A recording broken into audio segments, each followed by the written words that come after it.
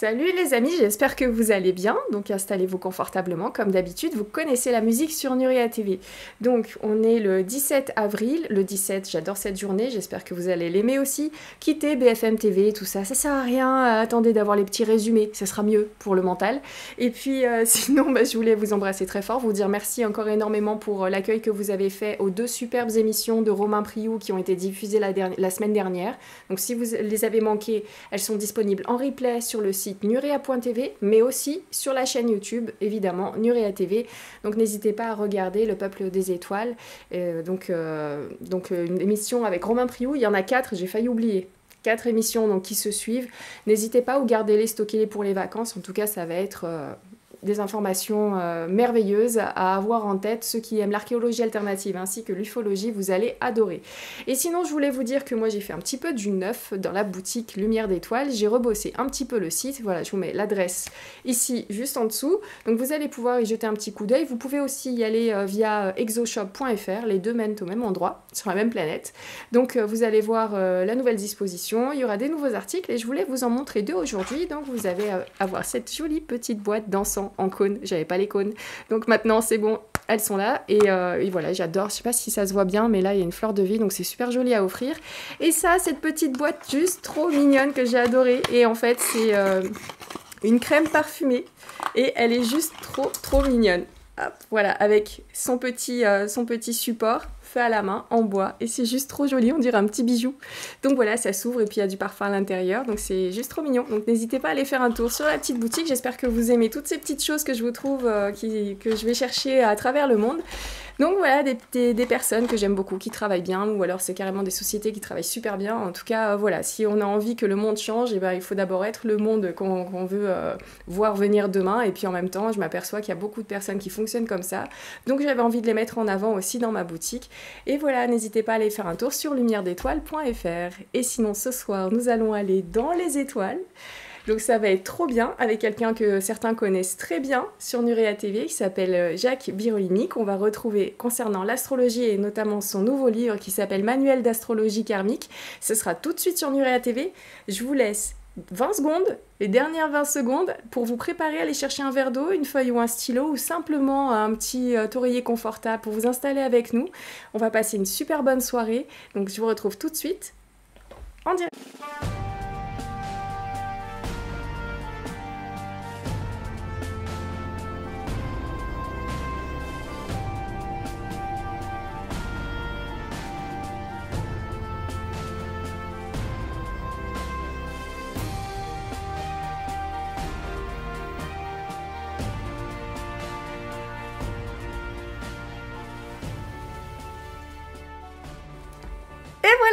Sommes pour un nouveau direct en ta compagnie, Jacques. Je suis trop contente de te recevoir.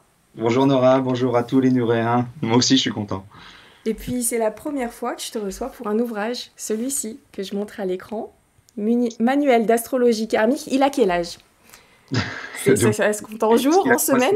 Un mois, c'est fin mars. Euh, le 30 mars, je crois. Ah ouais Même pas 15 mars, Donc... Ah ouais, ouais. Non, c'est énorme je réalise pas, moi déjà, il, a, il est fini depuis longtemps, tu sais, il n'existe plus.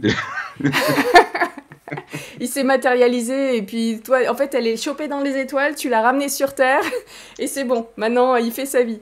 Bah, tu vas voir, euh, c'est exactement ça. Eh ben écoute, franchement, je suis super ravie parce qu'on devait faire une émission plus tôt, certains euh, s'en sont souvenus parce que je t'attendais plutôt sur Nuria et on attendait donc cette fameuse sortie tous les auteurs savent que généralement, voilà, la sortie du livre ne correspond pas forcément à la première date indiquée. C'est un monde extrêmement compliqué, c'est Dallas pour écrire des livres. Et avec les éditeurs, donc le voilà enfin, il est disponible. Je vous le montre à l'écran. Euh, je vais le mettre en, plein écran tout seul. Non, je vais le mettre avec toi, tiens. On va te voir.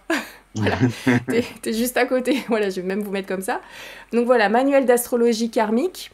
Euh, comment lire sa carte du ciel pour révéler ses potentiels? Jacques, sache que ça, cette thématique, à chaque fois que tu viens, pour nous, c'est du chinois. Tu sais, quand tu nous dis, alors je vois euh, ta lune en soleil, non, ton soleil en Mars, non plus, non plus. Ou, en fait, c'est très poétique, si tu veux. Mais nous, les, moldus, tu vois, on est là, on t'écoute, on se dit, qu'est-ce qu'il me raconte Est-ce que c'est bien ou pas? Mais tu sais que c'est pour ça que depuis des millénaires, t'as as les, bah, les charlatans, comme on dit, euh, s'en servent de l'astrologie parce que c'est hermétique, personne comprend, donc ça fait, ça fait super, euh, comment dire, ça impose. Et donc tu dis n'importe quoi et les gens ils sont là, ils t'écoutent. Bah si, euh, si Mars est dans sa Vénus, il doit avoir raison. ouais. Ils embrouillent les gens. Ou alors ça doit être super important maintenant. Ouh là là, j'ai Mars en, taureau. Oh, ça doit être super grave. Mais ouais, donc attends, juste j'ai une petite pensée là tout de suite pour euh, Marie et Morgane. Voilà, je fais un gros bisou à Morgane qui va s'envoler demain, donc euh, voilà, qui est venue faire un petit tour en France et qui retourne au Canada. Donc j'embrasse bien fort. Ça vient de m'arriver là en tête. Donc voilà, c'est les étoiles, le voyage. ça me l'a rappelé. Donc voilà, gros bisous au passage. Euh, bisous bien sûr à tous les Nuréens sur le chat et l'équipe des modos que j'ai vu dès le début d'émission. Merci d'être là. Merci fidèle au poste. Tu es là. je te vois sur mon écran, mon écran qui n'a pas bougé là. Il y a un arrêt sur, euh, sur, image sur fidèle au poste. Donc voilà, tout le monde est bien installé. Amira est là, Jean-Luc aussi. Béa Dukers, bien évidemment. Sophie Blancard, Linda, Muriel, ok, Fabrice. C'est parti. Donc, en fait, sans... On n'est pas que toi et moi, en fait. On n'est pas que toi et moi, en fait. Il y a un petit peu de monde. Il y a un petit peu de monde.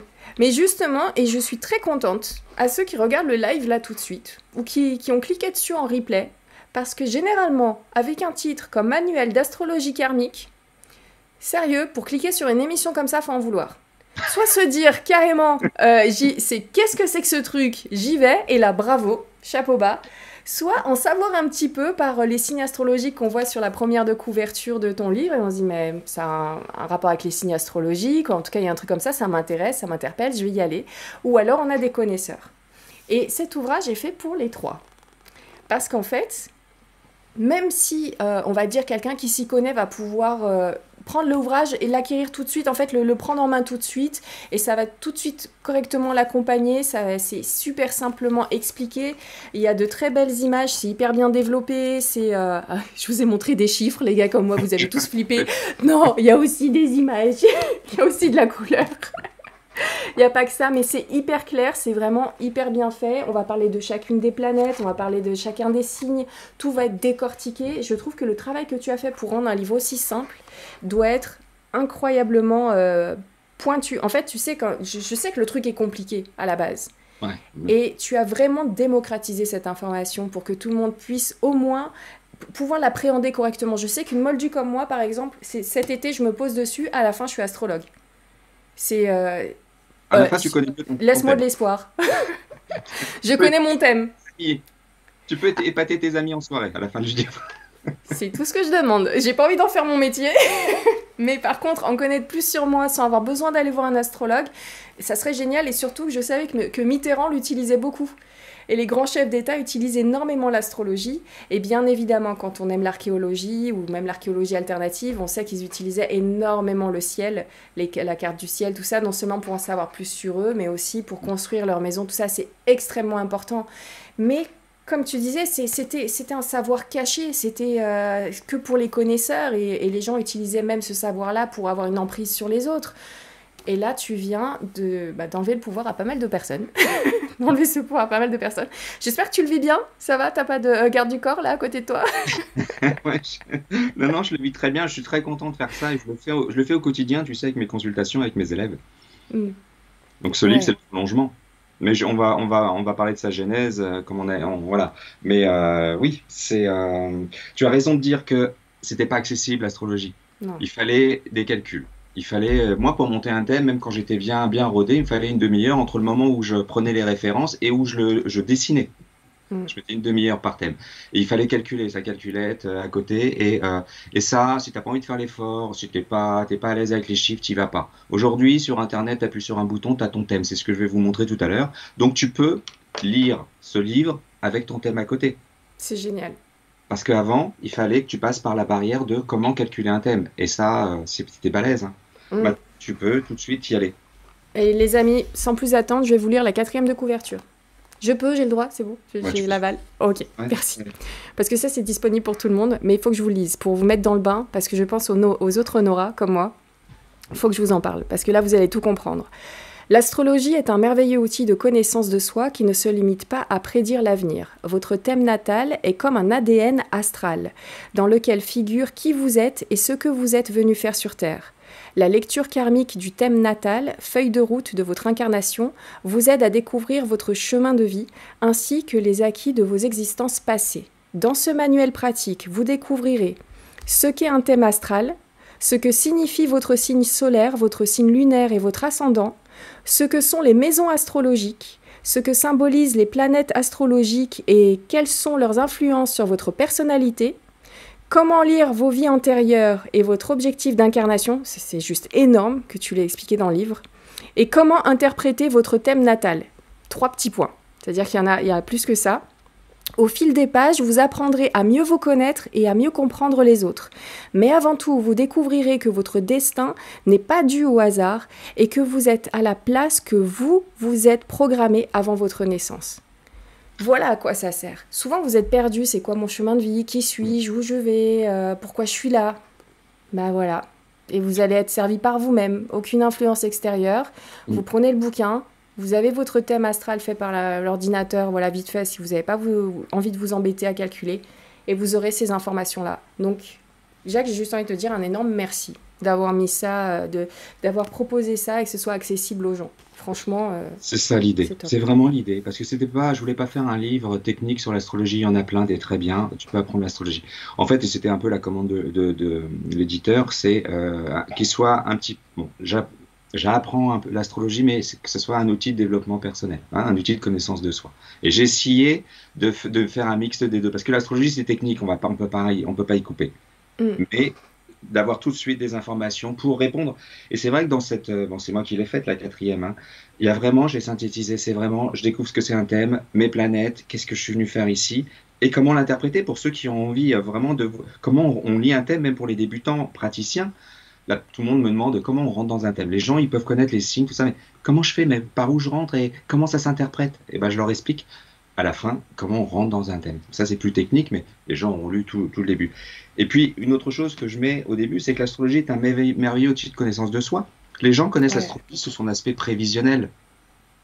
Les gens ne connaissent principalement sous cet aspect. Mais deux, en fait, il y, y, a deux parties de l'astrologie. C'est qui suis-je Qu'est-ce que je suis venu faire ici?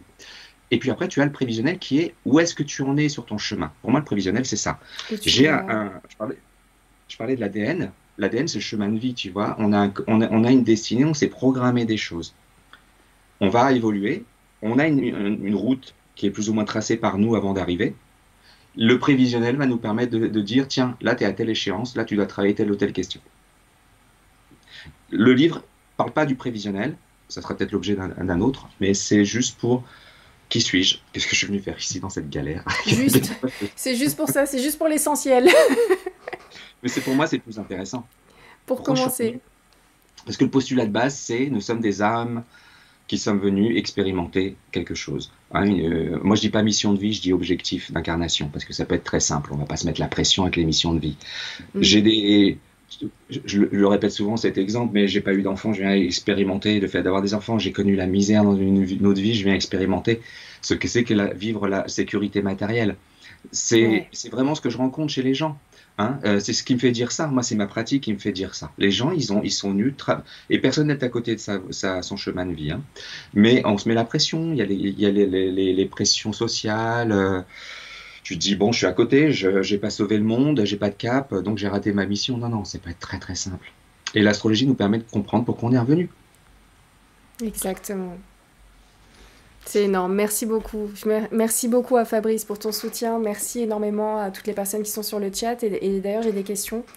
Euh, on a. Alors, j'ai une remarque déjà de GC qui dit Oui, mais le libre arbitre existe. On peut bousiller. Alors, attends, excuse-moi. On peut bousiller notre destin, non? Alors, l'exemple que je donne dans mon introduction en consultation, j'explique que l'âme, c'est un peu comme un, étudiant qui doit choisir un cursus, médecine, architecture, droit. Une fois qu'il a choisi, il s'engage, c'est pas lui qui décide des dates d'examen, c'est pas lui qui décide du contenu des cours, c'est pas lui qui décide de l'examen final ou des stages à faire. Lui, son libre arbitre, c'est est-ce que je vais aller au cours, est-ce que je vais bosser, est-ce que je vais me présenter aux examens, est-ce que je vais, euh, est-ce que je vais faire une année sabbatique. Voilà, c'est comme ça que moi je définis libre arbitre. Donc l'âme, et puis de toute façon, c'est ton âme, c'est notre âme qui a décidé. Et donc, après, on oublie, on est là, comment je réagis Les gens, je vous dis, ils, ne sont pas à côté. Mais ils vont le voir, ou ils vont, ils vont avoir peur d'y aller, ou euh, voilà, ils vont pas comprendre tout de suite le message. Hein, il y a plein de signes partout qui nous guident. Est-ce que j'y vais? Le thème, lui, il te dit voilà, toi, tu vas, tu, voilà, ton objectif, c'est ça. Et donc, le thème nous permet de, de, de gagner du temps. Mais le libre arbitre, il est comment je vis cette expérience, cette scolarité? C'est drôle que tu parles de l'école parce que j'en parlais euh, aujourd'hui euh, et, effectivement, il y a beaucoup d'adolescents qui sont dans ce moment de, vie où dès 16 ans, 16 ans, 15 ans, 16 ans, 17 ans, on va leur demander tout de suite euh, vers quoi ils veulent aller pour faire des études pour plus tard et je trouve que c'est vachement tôt. Je comprends pas. Ouais, enfin, je comprends. Parce que tu sais que la partie du cerveau qui permet de se projeter sur du long terme ne finit de se, de, de se fabriquer, de se terminer que vers 25 ans. Bien sûr, et puis il faut avoir des informations pour, pour faire des choix. Moi, euh, personne m'a dit à 15, 20 ans, euh, tu sais qu'il y a un cursus en astrologie, là, ça serait bien, tu serais un bon astrologue, Jacques. Ben, j'ai cherché, mais je ne savais pas. Et mm. puis, euh, je fais souvent des thèmes d'adolescents ou de jeunes, de jeunes adultes. Bon, je sens que des fois ça leur passe au-dessus, hein, parce que moi, je, je, vois, je vois les potentiels qu'ils vont exprimer peut-être dans 20 ans plus tard, tu vois. Par exemple, moi, à 15 ans, 20 ans, tu m'aurais dit, tu es astrologue, je me, serais marré, quoi. Tu Je suis allé dans le médico-social, tu m'aurais dit, tu vas travailler dans le handicap, je me serais, je me serais, voilà, je me serais marré aussi. Donc, les gens qui ont 50 ans voient rétrospectivement tout le chemin qu'ils ont parcouru, mais les potentiels, tu vas les, les valider au fur et à mesure. Donc, un, jeune de 20 ans, mais déjà avec les parents, ou même avec ces jeunes, déjà, je, j'oriente, quoi. Enfin, j'oriente. Voilà, on met bah, tu, vas simplement indiquer là où ils ont des facilités, les bagages avec lesquels ils sont venus finalement. Ah ben toi, dans, dans je sais pas, dans la technologie, euh, ça peut être génial, dans la communication aussi, tout est, euh, tout est bien en place pour ça. Et après, ils font ce qu'ils veulent, il reste quand même le libre arbitre. Si finalement ils veulent vraiment faire vétérinaire, ils feront vétérinaire. Mais peut-être qu'ils finiront par faire des conférences de vétérinaire, ils seront dans la communication, tu as plein de potentiel. Tu peux être doué pour l'enseignement, tu peux être dans, doué pour aider l'autre, et bon, à un moment donné, tu vas être, tu vas être médecin ou effectivement vétérinaire. Et puis, comme tu es doué pour l'enseignement, bah, ça se trouve, dans 20 ans plus tard, tu vas écrire des bouquins, ou tu vas faire des, mm. tu vas faire des colloques ou des séminaires où tu vas enseigner. C'est plein de potentiel que tu vas réunir et que tu vas valider. J'ai même, moi, je suis même tombé, alors ça, c'est la part intuitive. J'ai parlé, j'ai parlé à une mère avec son fils, je le vois bien ingénieur dans le nucléaire. Ah, bah, c'est exactement la voie qui va suivre. Ok, moi, je sais pas où j'ai été chercher ça, du seul truc. des fois, tu vois même un truc comme ça. Bon, mais des fois, c'est plus large. Voilà. C'est-à-dire qu'il y a plein de façons. Tu es venu pour, euh, pour la com. Bah, il y a plein de façons d'être, d'être dans la com. Hein. Mm. Euh, l'astrologie ne va pas te dire tu vas être bouché. Non. Ouais, non. non, c'est pas ça. C'est euh, tu, tu, tiens, tu vas, tu vas, tu vas pouvoir exploiter tes différents potentiels dans tel environnement, quoi. En tout cas, le, voilà. Et c'est ce que le livre peut euh, justement permettre de, de relever. Alors il y a Magali Cholet qui nous dit Jacques Birolini, un humaniste lumineux, incroyablement généreux. J'ai testé et adoré.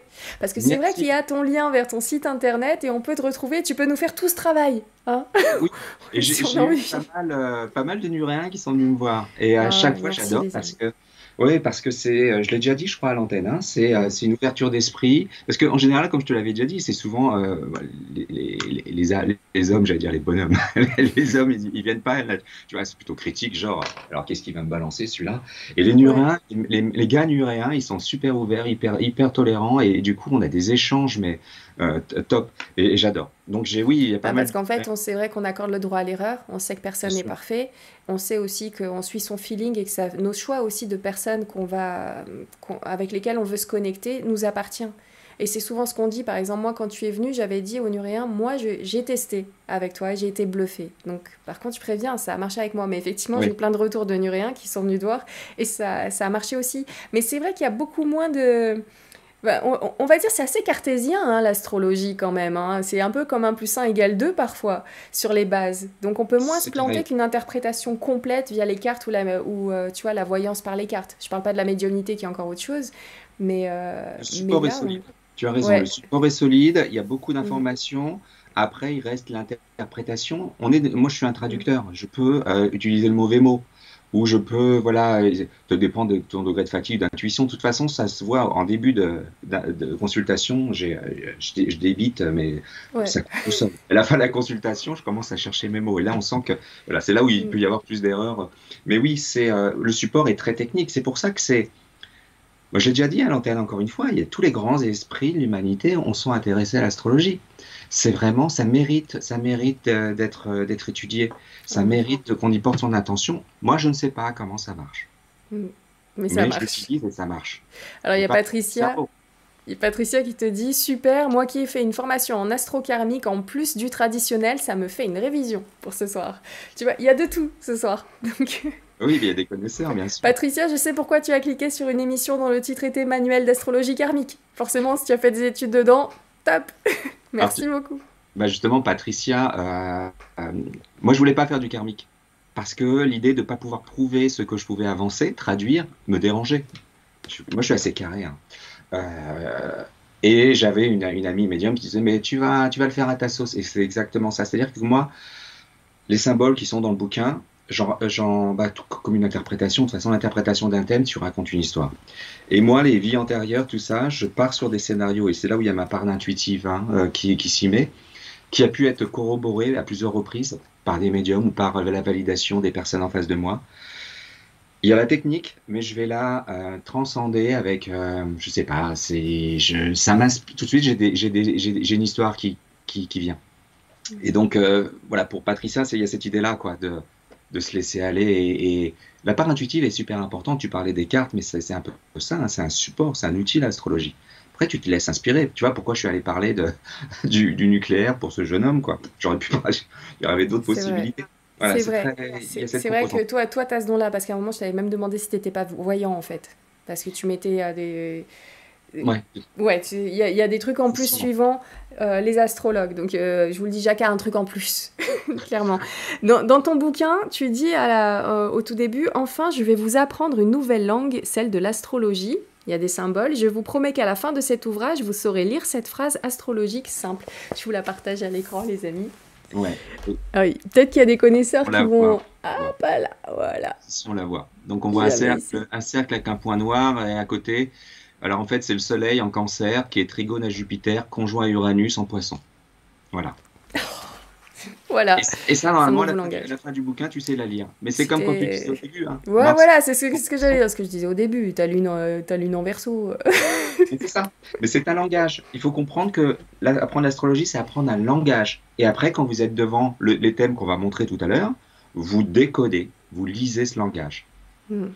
Et c'est pour ça que dans... Oui, vas-y. Ah pardon, excuse-moi. C'est pour ça que dans le livre, euh, il y, a plusieurs étapes incontournables. On va en parler après si tu veux, mais euh, l'astrologie, tu l'abordes pas comme ça euh, au hasard.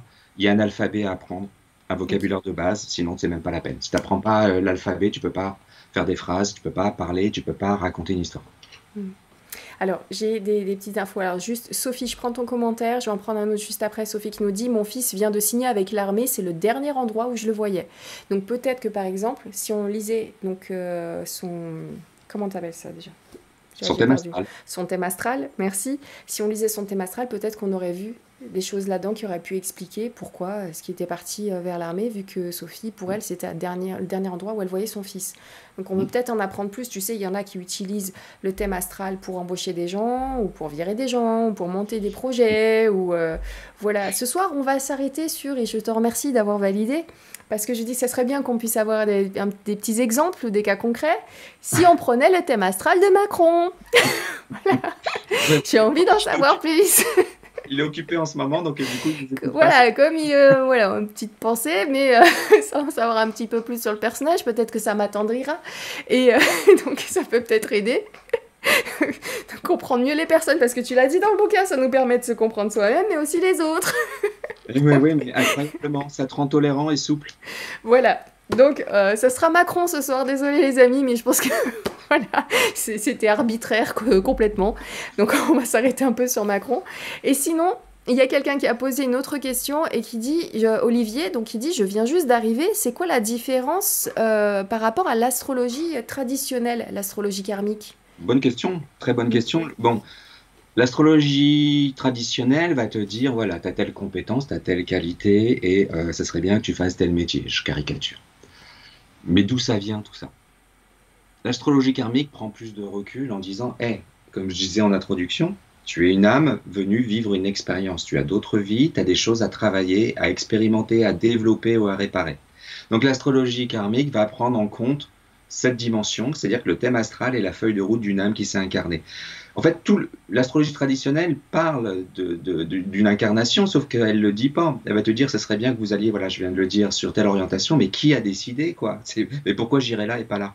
Alors que l'astrologie karmique, tu dis, bah voilà, on va le voir avec Macron, tu as vécu telle ou telle chose, donc tu viens maintenant travailler telle ou euh, autre chose. Tout le monde est en train de me pourrir sur le chat actuellement. Je passer quelques petits commentaires à l'antenne. Et, ça vient des plus proches, hein, de la team des modérateurs.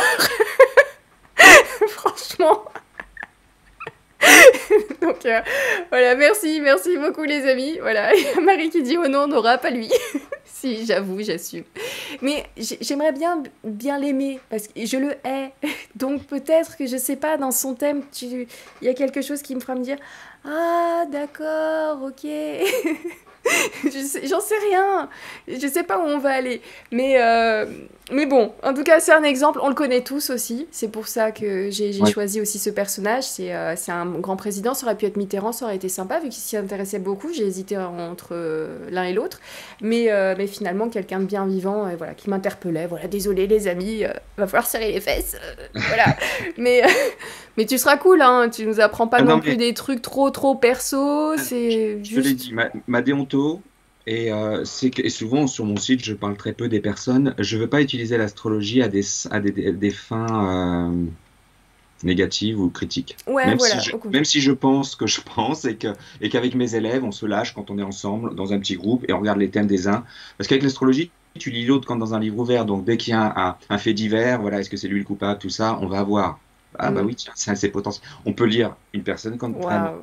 Donc, donc, mais ça, je, vais, je me refuse. En fait, tu sais, euh, je crois qu'on a vu tout, tout, tout, ce qui est, tout ce qu'il y a de mauvais. Essaye de nous le rendre cool. si tu y arrives. en face, il y a des gens qui disent Non, j'accepte pas, je ne veux pas. Mais oui, non, mais. J'en sais rien. Mais bon, en tout cas, voilà, on, verra. Je sais pas par, par quel, dans quel sens on va l'appréhender, mais en tout cas, on va utiliser ton livre. Voilà. En, fait, on va, comme tu, tu souhaitais qu'on explique à chacun comment l'utiliser, et eh ben, on va appliquer les étapes du livre avec le thème de Macron. Voilà, tout simplement. Et ben voilà. On va dire que c'est personne lambda, hein, monsieur tout le monde. Mais oui, mais oui. Et mais voilà. Non, comme une âme. Moi, C'est juste qu'on le connaît, donc ça va simplifier les choses et on pourra tout de suite se dire ah oui, ça match, ou ah non, ça matche pas, ou ah bon, il y a ça aussi en lui, ah bon, tu vois. Mais c'est ça, moi, de la façon, quand les gens viennent me voir, parce que moi, je les, euh, voilà, les gens, ils me montrent une, figure qui est, voilà, une bonne figure. Hein, euh, moi, je vois bien les personnes. Là, ce que j'ai devant les yeux, quand j'ai les consultants, quand j'ai euh, le thème de Macron, j'ai le thème d'une âme qui est venue expérimenter quelque chose. Avec tout, avec, voilà, avec toute sa possibilité de, d'erreur, de, de, de, mal utiliser les énergies qu'elle est venue exploiter. On va comprendre ça mieux.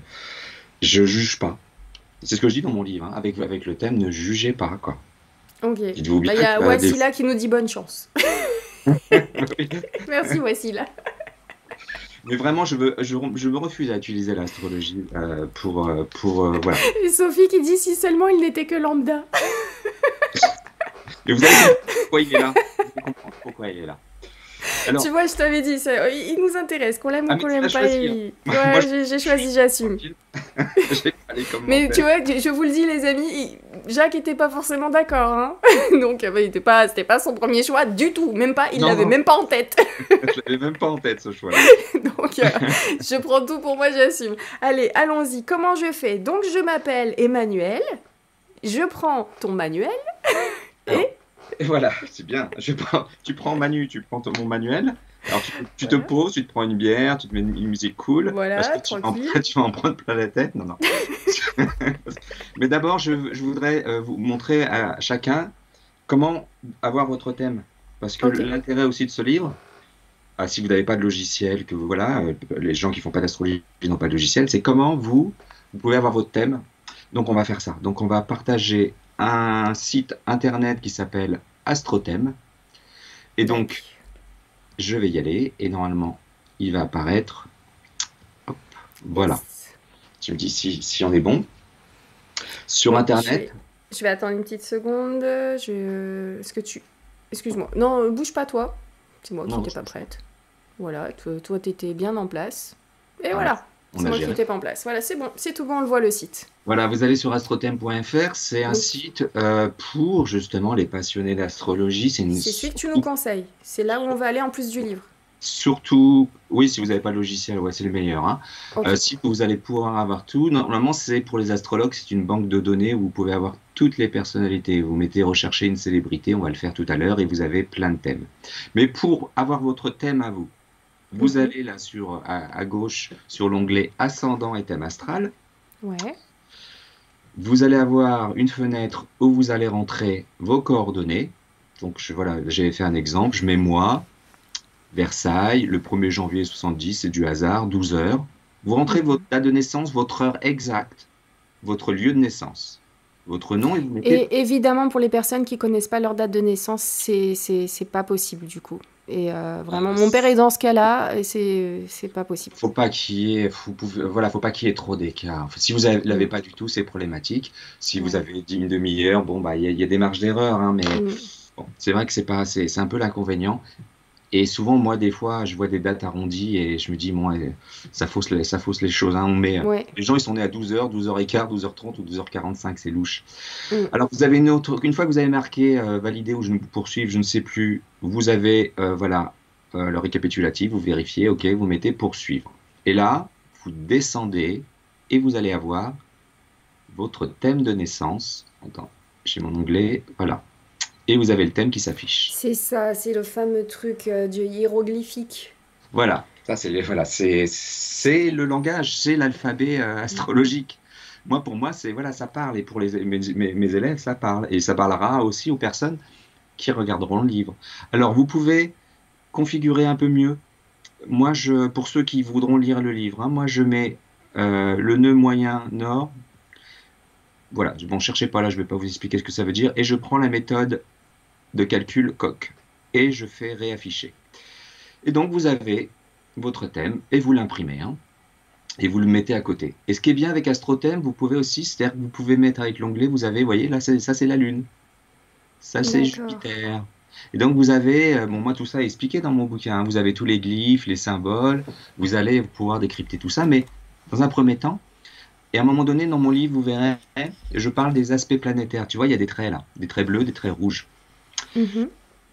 Ça, j'explique, c'est peut-être la partie la plus ardue dans mon livre, mais en ayant Astrothème, bah, vous aurez, si je clique sur Jupiter, vous aurez, tiens, très rouge, Jupiter opposé Saturne, Mercure carré euh, Jupiter. Donc là, avec Astrothème, vous pourrez plus facilement me suivre. D'accord? Donc voilà, et vous imprimez ici, et vous avez votre thème à côté de vous, et puis vous ouvrez le bouquin, et puis vous allez suivre les étapes qu'on va voir ensemble. Bon, comme c'est enregistré, je passe pas plus de temps, les gens pourront revisionner mon explication. On va aller directement à, ton copain. Ouais, attends, je reviens à, l'antenne parce qu'il y a une info très importante qui se trouve au tout début du livre. Tu as beaucoup de parties où c'est marqué questions-réponses, les questions qu'on te posait le plus souvent. Et il y avait celle-ci comment les planètes nous influencent-elles avec des rayons ou un truc dans le genre? Ben oui, mais tu sais. Donc l'influence des planètes, comme là tu l'as fait vite fait pour le, ton thème astrologique, tu vas vite parce qu'on est sur Internet, il y a des connaisseurs, tout ça. Mais pour moi, quand j'ai vu cette question, je me suis dit, enfin, c'est posé. Donc, ben oui. Je sais pas si tu veux y répondre là ou si on lit euh, la réponse ou. Euh, bah pour euh, moi, bien sûr, pour moi, c'est pas les planètes qui nous envoient, à part le phénomène de la Lune, le Soleil qui nous réchauffe et tout ça, mais c'est pas Pluton qui est à des milliers de kilomètres qui va nous influencer. Pour moi, c'est une grille de lecture, d'accord, les planètes. C'est une grille de lecture. Un peu, euh, les anciens disaient euh, une phrase que tout le monde euh, répète comme ça, mais tout, tout, ce qui est en haut est en bas, un truc comme ça. c'est l'idée un peu comme un hologramme, comme, comme un reflet, un miroir. C'est-à-dire qu'en lisant le ciel, tu lis l'individu. En lisant le macrocosme, tu lis le microcosme. Mais c'est mhm. pas les, pour moi, c'est pas les planètes qui nous, qui nous envoient des petites ondes en disant. Qui nous influencent et tout ça, d'accord. Bah, comme ça, au moins, c'est bien clair. C'est mais où elles étaient positionnées à tel moment de votre naissance et du coup où elles sont positionnées à tel autre moment de votre vie, c'est ça qui est important en fait. C'est euh, comme tu disais, c'est l'ADN astral va lire. C'est-à-dire que l'âme, elle a choisi. Et il bouge. Là, j'ai pas d'explication pour pourquoi, à un moment, tu, tu choisis l'instant où tu, où tu te détaches de la mer, marque une destinée. Mais tu sais, l'astrologie, là, on va l'étudier sur le mode euh, d'étude de la personnalité, mais l'astrologie, si je te, tu, peux me poser une question là, et je peux faire le thème de la question à ce moment-là, et, trouver la réponse à ta question dans le ciel qui, que je vais créer à l'instant de, de, la, de la question. Comme une rencontre amoureuse, comme un mariage, je fais le thème du mariage. Une fois que le, voilà, le curé ou, ou, le maire valide le mariage, je, je, dresse le thème. Et là, je peux. Comme un changement de direction de travail, comme euh, un changement dans le couple, comme. Tout ce euh, qui naît, tout ce qui naît sous le ciel à un moment donné, on peut faire son thème. C'est vertigineux. C'est énorme, énorme. Franchement, euh, il va falloir qu'on soit tous des connaisseurs là-dessus. Parce qu'on en parle depuis le début de Nuria TV, c'est flou pour nous et et franchement, le livre est super bien expliqué, il est clair, il est simple. Ça demande un petit peu d'huile de coude, un petit peu de neurones pour certaines parties, comme tu le disais. Mais une fois que c'est acquis, c'est acquis, ça bouge pas. Hein. Au bah, moins, c'est fixe. Hein. Si tu sais le pas, bah si, bah non. Une fois que tu connais une planète, bah tu la connais. Et je vais vous, vous allez voir avec les exemples. Mais euh, là, dans le livre, c'est l'outil de développement personnel, donc on parle des individus. D'accord?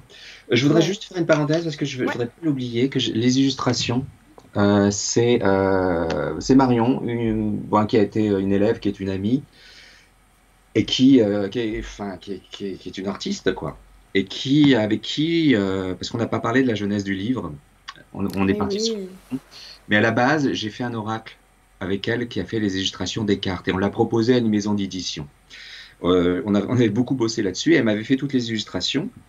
Et l'oracle n'est pas pour le moment validé parce que l'idée c'était bah ouais mais euh, ça serait peut-être bien de faire un bouquin Monsieur Birolini ok on va faire un bouquin avec plaisir et le bouquin en fait c'était euh, c'était pas prévu le bouquin mais c'est la somme de toutes mes euh, de tous mes cours et tu, tu vois tu as parlé, tu as posé la petite question là dans mon bouquin il y a plusieurs questions bah c'est les questions de mes élèves ou c'est les questions que les gens m'ont posées en conférence? C'est vrai qu'on devient son ascendant après 40 ans? Euh, Et le serpentaire, monsieur? Pour toutes les questions qu'on répète tout le temps euh, aux astrologues. Et puis les questions de mes élèves qui souvent bah, vont mettre le doigt sur une problématique. Je comprends pas ça. Ah ouais, tu comprends pas? Bah du coup, je vais essayer de t'expliquer. Et c'est ce comme ça que j'ai fait mon livre. quoi. C'est pour ça qu'il est aussi clair. Bien sûr. Enfin, je pense. non, mais je te le confirme. Il y a Griffin qui dit Arrêtez tout de suite, les gars. On sait tous que ce sont les versos les meilleurs. J'ai appris dans ton livre qu'on était de tout. Un peu de tout. On va voir, bien, bien sûr. Ben, je ne savais pas. Ben, on a tous les... Regardez devant vous. Vous avez, ça c'est le thème de naissance de, de, de Emmanuel Macron. Attends, euh, j'arrive, Ouais, je, je, je, te remets, je, te, je prépare. C'est quoi? J'ai plein d'écrans, j'ai plein de trucs. Hop, voilà, je te remets avec le thème d'Emmanuel Macron. Voilà. Eh ben, euh, il est vierge. dans, le, dans le cercle zodiacal, il y a tous les signes. Et donc, vous avez les planètes, on va en parler après elles sont réparties dans tous les signes. Donc vous pouvez avoir un peu de taureau, lui il a du taureau, il a du lion, il a de la balance, il a du capricorne. Et donc tout ça va, va faire... Tout, tout, ça est aléatoire, puisque c'est l'instant de naissance, mais ça va donner une destinée, une personnalité. Donc vous avez tous les signes. Donc c'est pour ça que n'allez pas chercher dans mon bouquin que votre signe, parce que vous, vous allez incarner à différents dosages vos signes. Vous allez aimer comme un taureau, vous allez travailler comme un, un scorpion, vous allez être Sagittaire, vous voyez. Et donc, euh, on a tous les signes et comme on a toutes les planètes. Donc oui, c'est super important de, comprendre ça. Et puis, il ne faut pas résumer les, signes à des caractères. Il faut, oublier les horoscopes, s'il vous plaît, pitié. Les signes, ça peut être, ce sont des énergies. Quand je vais parler tout à l'heure des Capricornes, je ne parle pas de, des Capricornes qui sont devant l'écran. Personne n'incarne un signe à 100%, ça n'existe pas. Euh, il y a des défauts dans des signes, il y a des qualités, on va pas avoir tous les défauts, on va avoir toutes les qualités, il y a des extrêmes dans chaque, il n'y a pas de bon ou de mauvais signes. Donc les signes, ça peut être euh, une partie du corps, une anatomie. Si on fait de l'astrologie médicale, bah voilà, le Capricorne qui est devant, l'ascendant de Macron, bah ça va être le squelette par exemple, ou les dents. Euh, ça peut être des lieux. Voilà. Donc il ne faut pas réduire, euh, oublie, voilà, cette idée de ce sont des tempéraments, des caractères. Non, c'est bien plus que ça. C'est vraiment. Euh, c'est la base. Il y a Patrice Lyon qui nous dit Comment ça, il a du lion? Oui, bah vous avez, bah, euh, on va en parler, son marque. on va en parler. Je te jure, non mais on est à fond. Moi, je suis, moi, je suis à fond. Hein. Je suis, ça paraît peut-être un petit peu, euh, je sais pas, étrange. je vais essayer. je, te sens, mais je, suis à fond. je veux tout je savoir. cadrer le truc parce que je sens que. Alors. C'est pas moi qui te retiendrai en fait. Bon, Emmanuel Macron a son soleil en, Sagittaire. Il n'a pas que ça d'ailleurs, il a trois planètes en Sagittaire. C'est un signe, moi, qui m'est super sympathique. Ok? Mhm. Il y a des Sagittaires devant, euh, devant l'écran. Hein. Il y a un douzième de l'humanité qui est Sagittaire. Donc voilà. Oui. Euh, et j'en connais une, hein, je crois qu'elle a du Sagittaire aussi. Hein. Oui, oui, c'est moi, moi. J'en ai pas mal. Bon, le Sagittaire, c'est bonhomme, c'est sympa, euh, ça va vers toi, ça te tape une grande tape dans l'épaule, salut, je te paye une bière, c'est sympa un Sagittaire. Bon. Mhm. On n'a pas que le Soleil. Donc je vous dis, on ne va pas vous résumer à vos signes solaires. Parce que vous avez par exemple un ascendant. L'ascendant, c'est quoi, Monsieur Burny Alors, une conférence, c'est quoi? L'ascendant, euh, c'est la façon dont tu vas rentrer en contact avec les autres. Quand tu arrives quelque part, c'est on voit ton ascendant, c'est ton, ton physique, c'est ton image, c'est ta façon d'interagir avec l'extérieur c'est aussi une partie de ta personnalité qui est spontanée, naturelle, que tu travailles. Excusez-moi les amis, je, fais un peu de recadrage. Pardon, hein, excuse-moi Jacques. Je vois pas. Donc, euh, le soleil, tu vois, le soleil c'est ton ego, que je vais utiliser l'énergie du Sagittaire pour venir vivre cette expérience et tout. Mais ce que les gens vont percevoir de moi, c'est l'ascendant. Et là, on a quoi? On a un ascendant Capricorne chez Emmanuel Macron. Le signe de la vieillesse, des règles, de la rigueur, de l'austérité, de l'autorité, du cadre.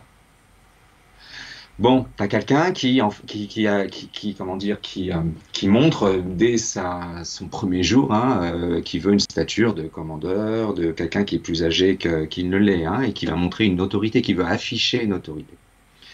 C'est raide un peu les Capricornes, hein, c'est tout en retenue. Le Sagittaire, c'est un signe extraverti. Il voyage, c'est le signe de l'étranger, il va voir d'autres cultures, il est hyper ouvert. Il est sûrement comme ça. Tu fais une fête avec lui, j'imagine que tu, voilà, tu peux, tu peux, tu vas te taper une bière, comme j'ai dit, ou il a, il, a l'air. Bon, je vais vous expliquer, il a un côté excessif, hein. c'est notamment le Sagittaire. Mais tu as un côté très raide, le Capricorne, tu vois. Donc le Capricorne, c'est je te mets à distance, il y a un côté froid, et euh, il y a un côté sévère et autoritaire. Bah oui, en soirée, quand on le voit en photo en soirée, euh, il y a un côté dur, on a l'impression qu'il s'amuse, et l'autre côté, il est gênant. Il, comme s'il s'amusait pas. comme s'il était les deux. C'est comme si je m'amuse pas. C'est comme si j'étais vieux, quoi. Ouais. Tu vois, euh, c'est le signe de la vieillesse, de la maturité. Il y a quelque chose qui va, qui, qui, qui est contracté, quoi. Et qui est pas. Et là, tu vois, ce que j'explique à mes consultants, c'est que dans un thème, il y a des contradictions. il y a des dualités. Tu peux être, l'exemple que je donne, tu peux être un très bon père de famille chez toi et être un serial killer dans la vie, tu vois.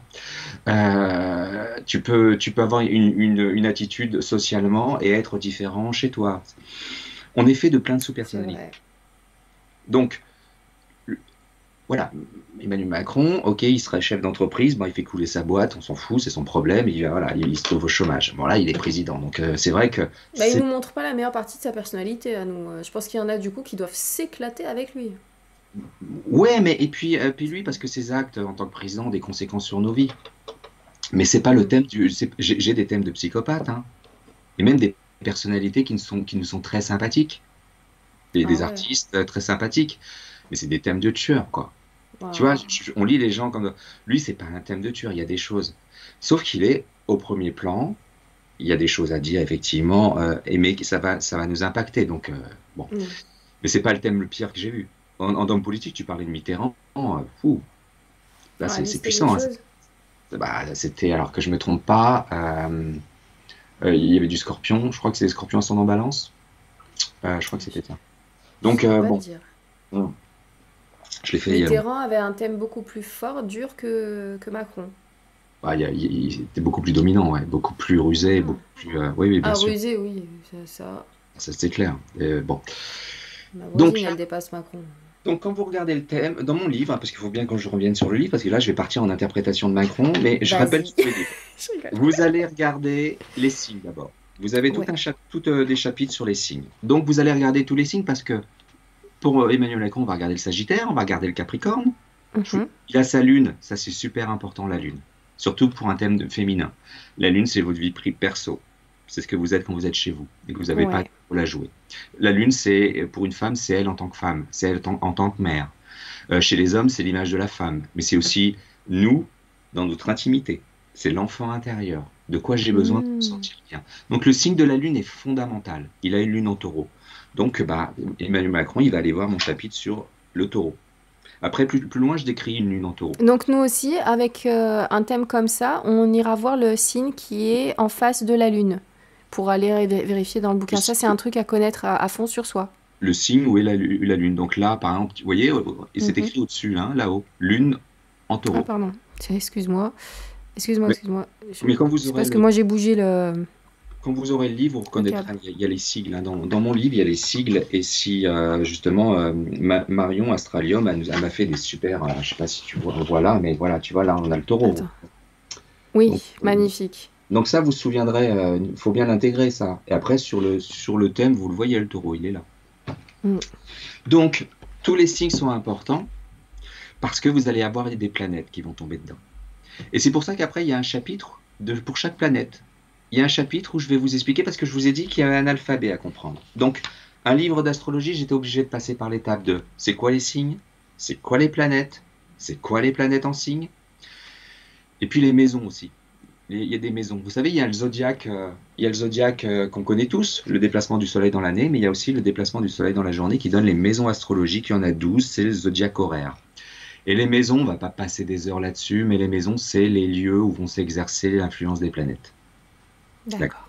Et donc, vous avez là, voilà, à partir de l'ascendant, première maison, deuxième maison, troisième maison. Et tout ça est décrit dans le livre Qu'est-ce qu'une maison? Par exemple, le, soleil d'Emmanuel Macron, vous voyez, il y a un petit chiffre 11. Il est dans la maison 11. Et si vous allez. Du coup, on va pas, on va pas partager mon livre. Qu'est-ce que tu en penses? On le fait comme ça? Allez, on le fait comme ça. Et eh bien, vous allez, euh, page 76, et vous allez regarder dans mon livre Qu'est-ce qu'un soleil en maison 11 Et c'est là où, c'est là où je l'ai pensé comme un livre de développement personnel, parce que j'aurais pu être plus technique, j'aurais pu faire des pages, j'aurais pu faire des, l'éditeur m'a dit voilà, on fait, on pas faire trop compliqué non plus. Donc à chaque fois, je me suis réduit à peut-être six, phrases. Et là, je vais vous lire ce que ce que ce qu'est maison, un soleil en maison 11. Donc je m'appelle Emmanuel Macron, je viens voir un astrologue.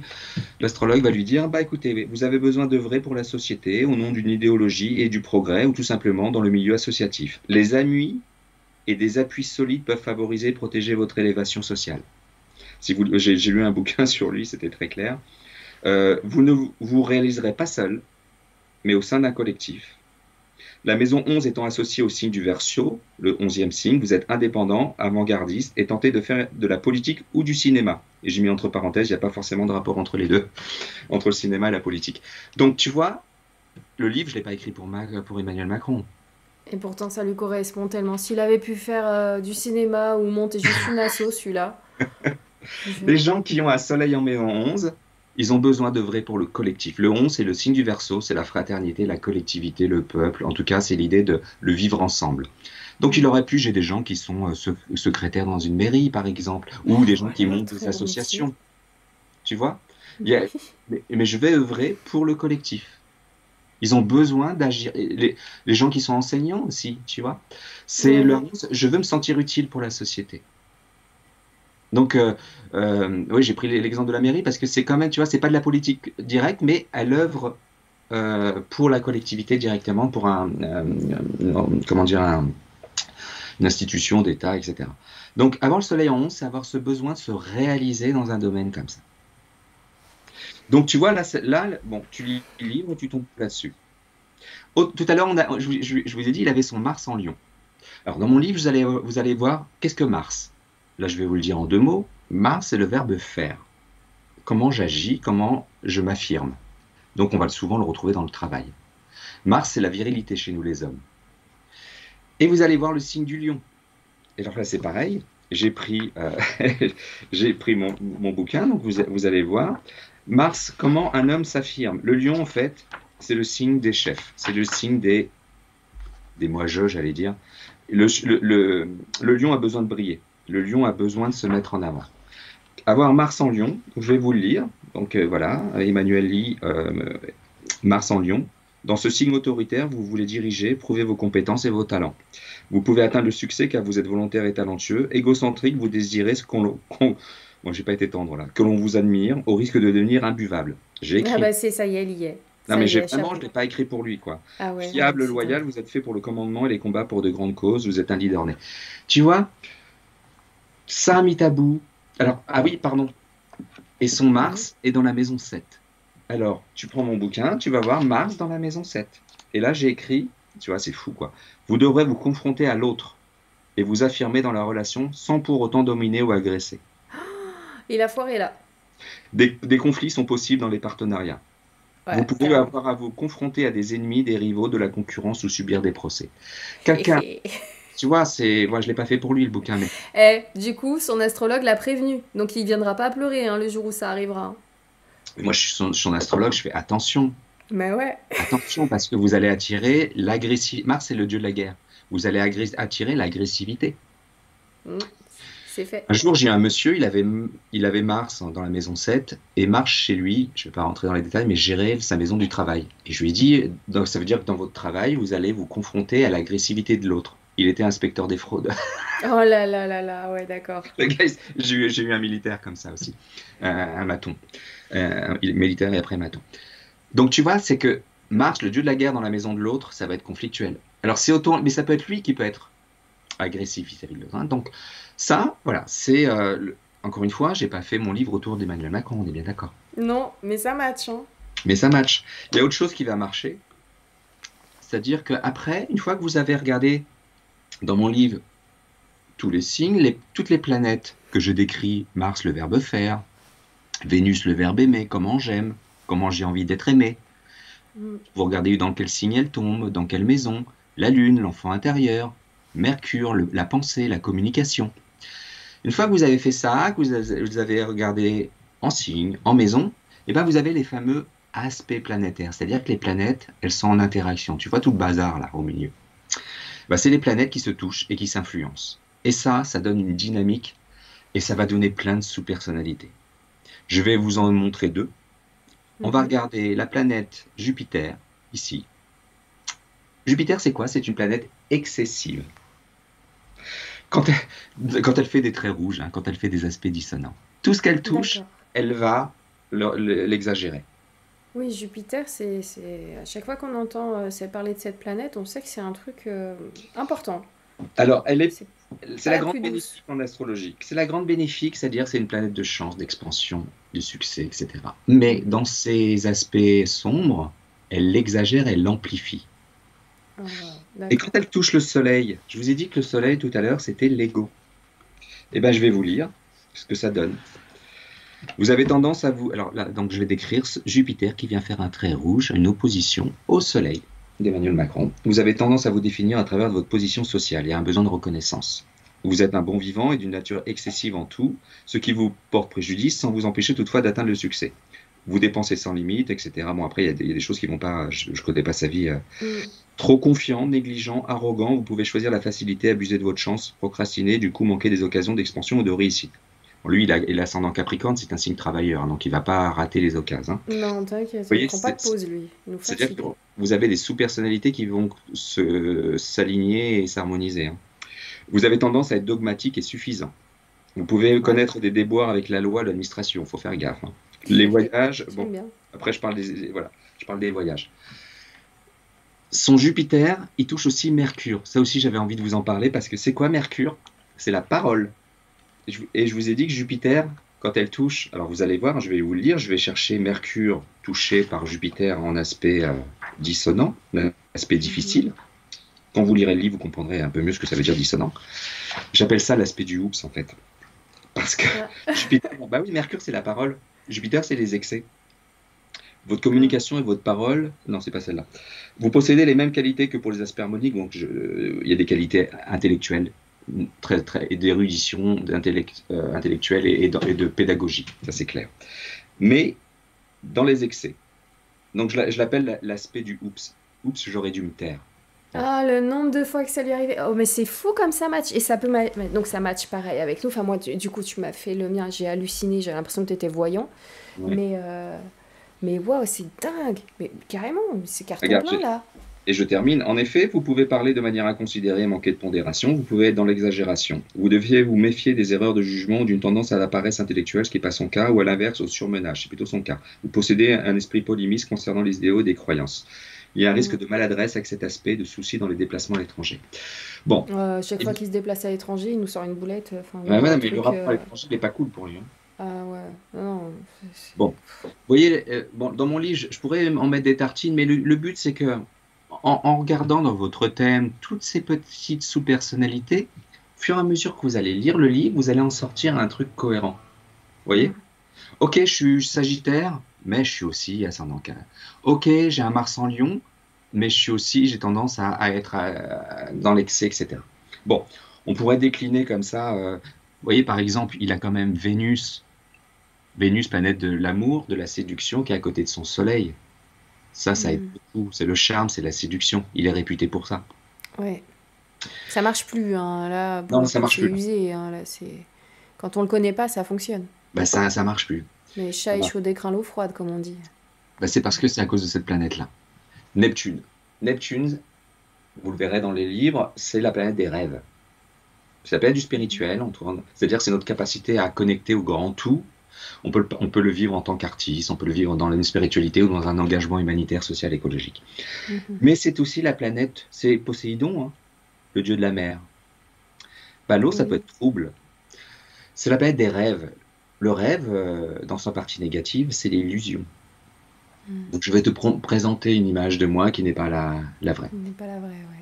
Je vais pas développer plus que ça, mais tu, voilà, c'est je peux me mentir à moi-même et je peux mentir aux autres. Mais on le voit pas venir. Hmm. Tu vois, tu me demandais, est-ce voilà, est-ce que c'est un thème? C'est pas un thème de psychopathe, c'est pas un thème de violent. Non, au final, ça pourrait être. euh, Il y a plein de personnes qui lui ressemblent. Mais c'est juste qu'il ne faut pas leur donner le pouvoir à ces personnes-là.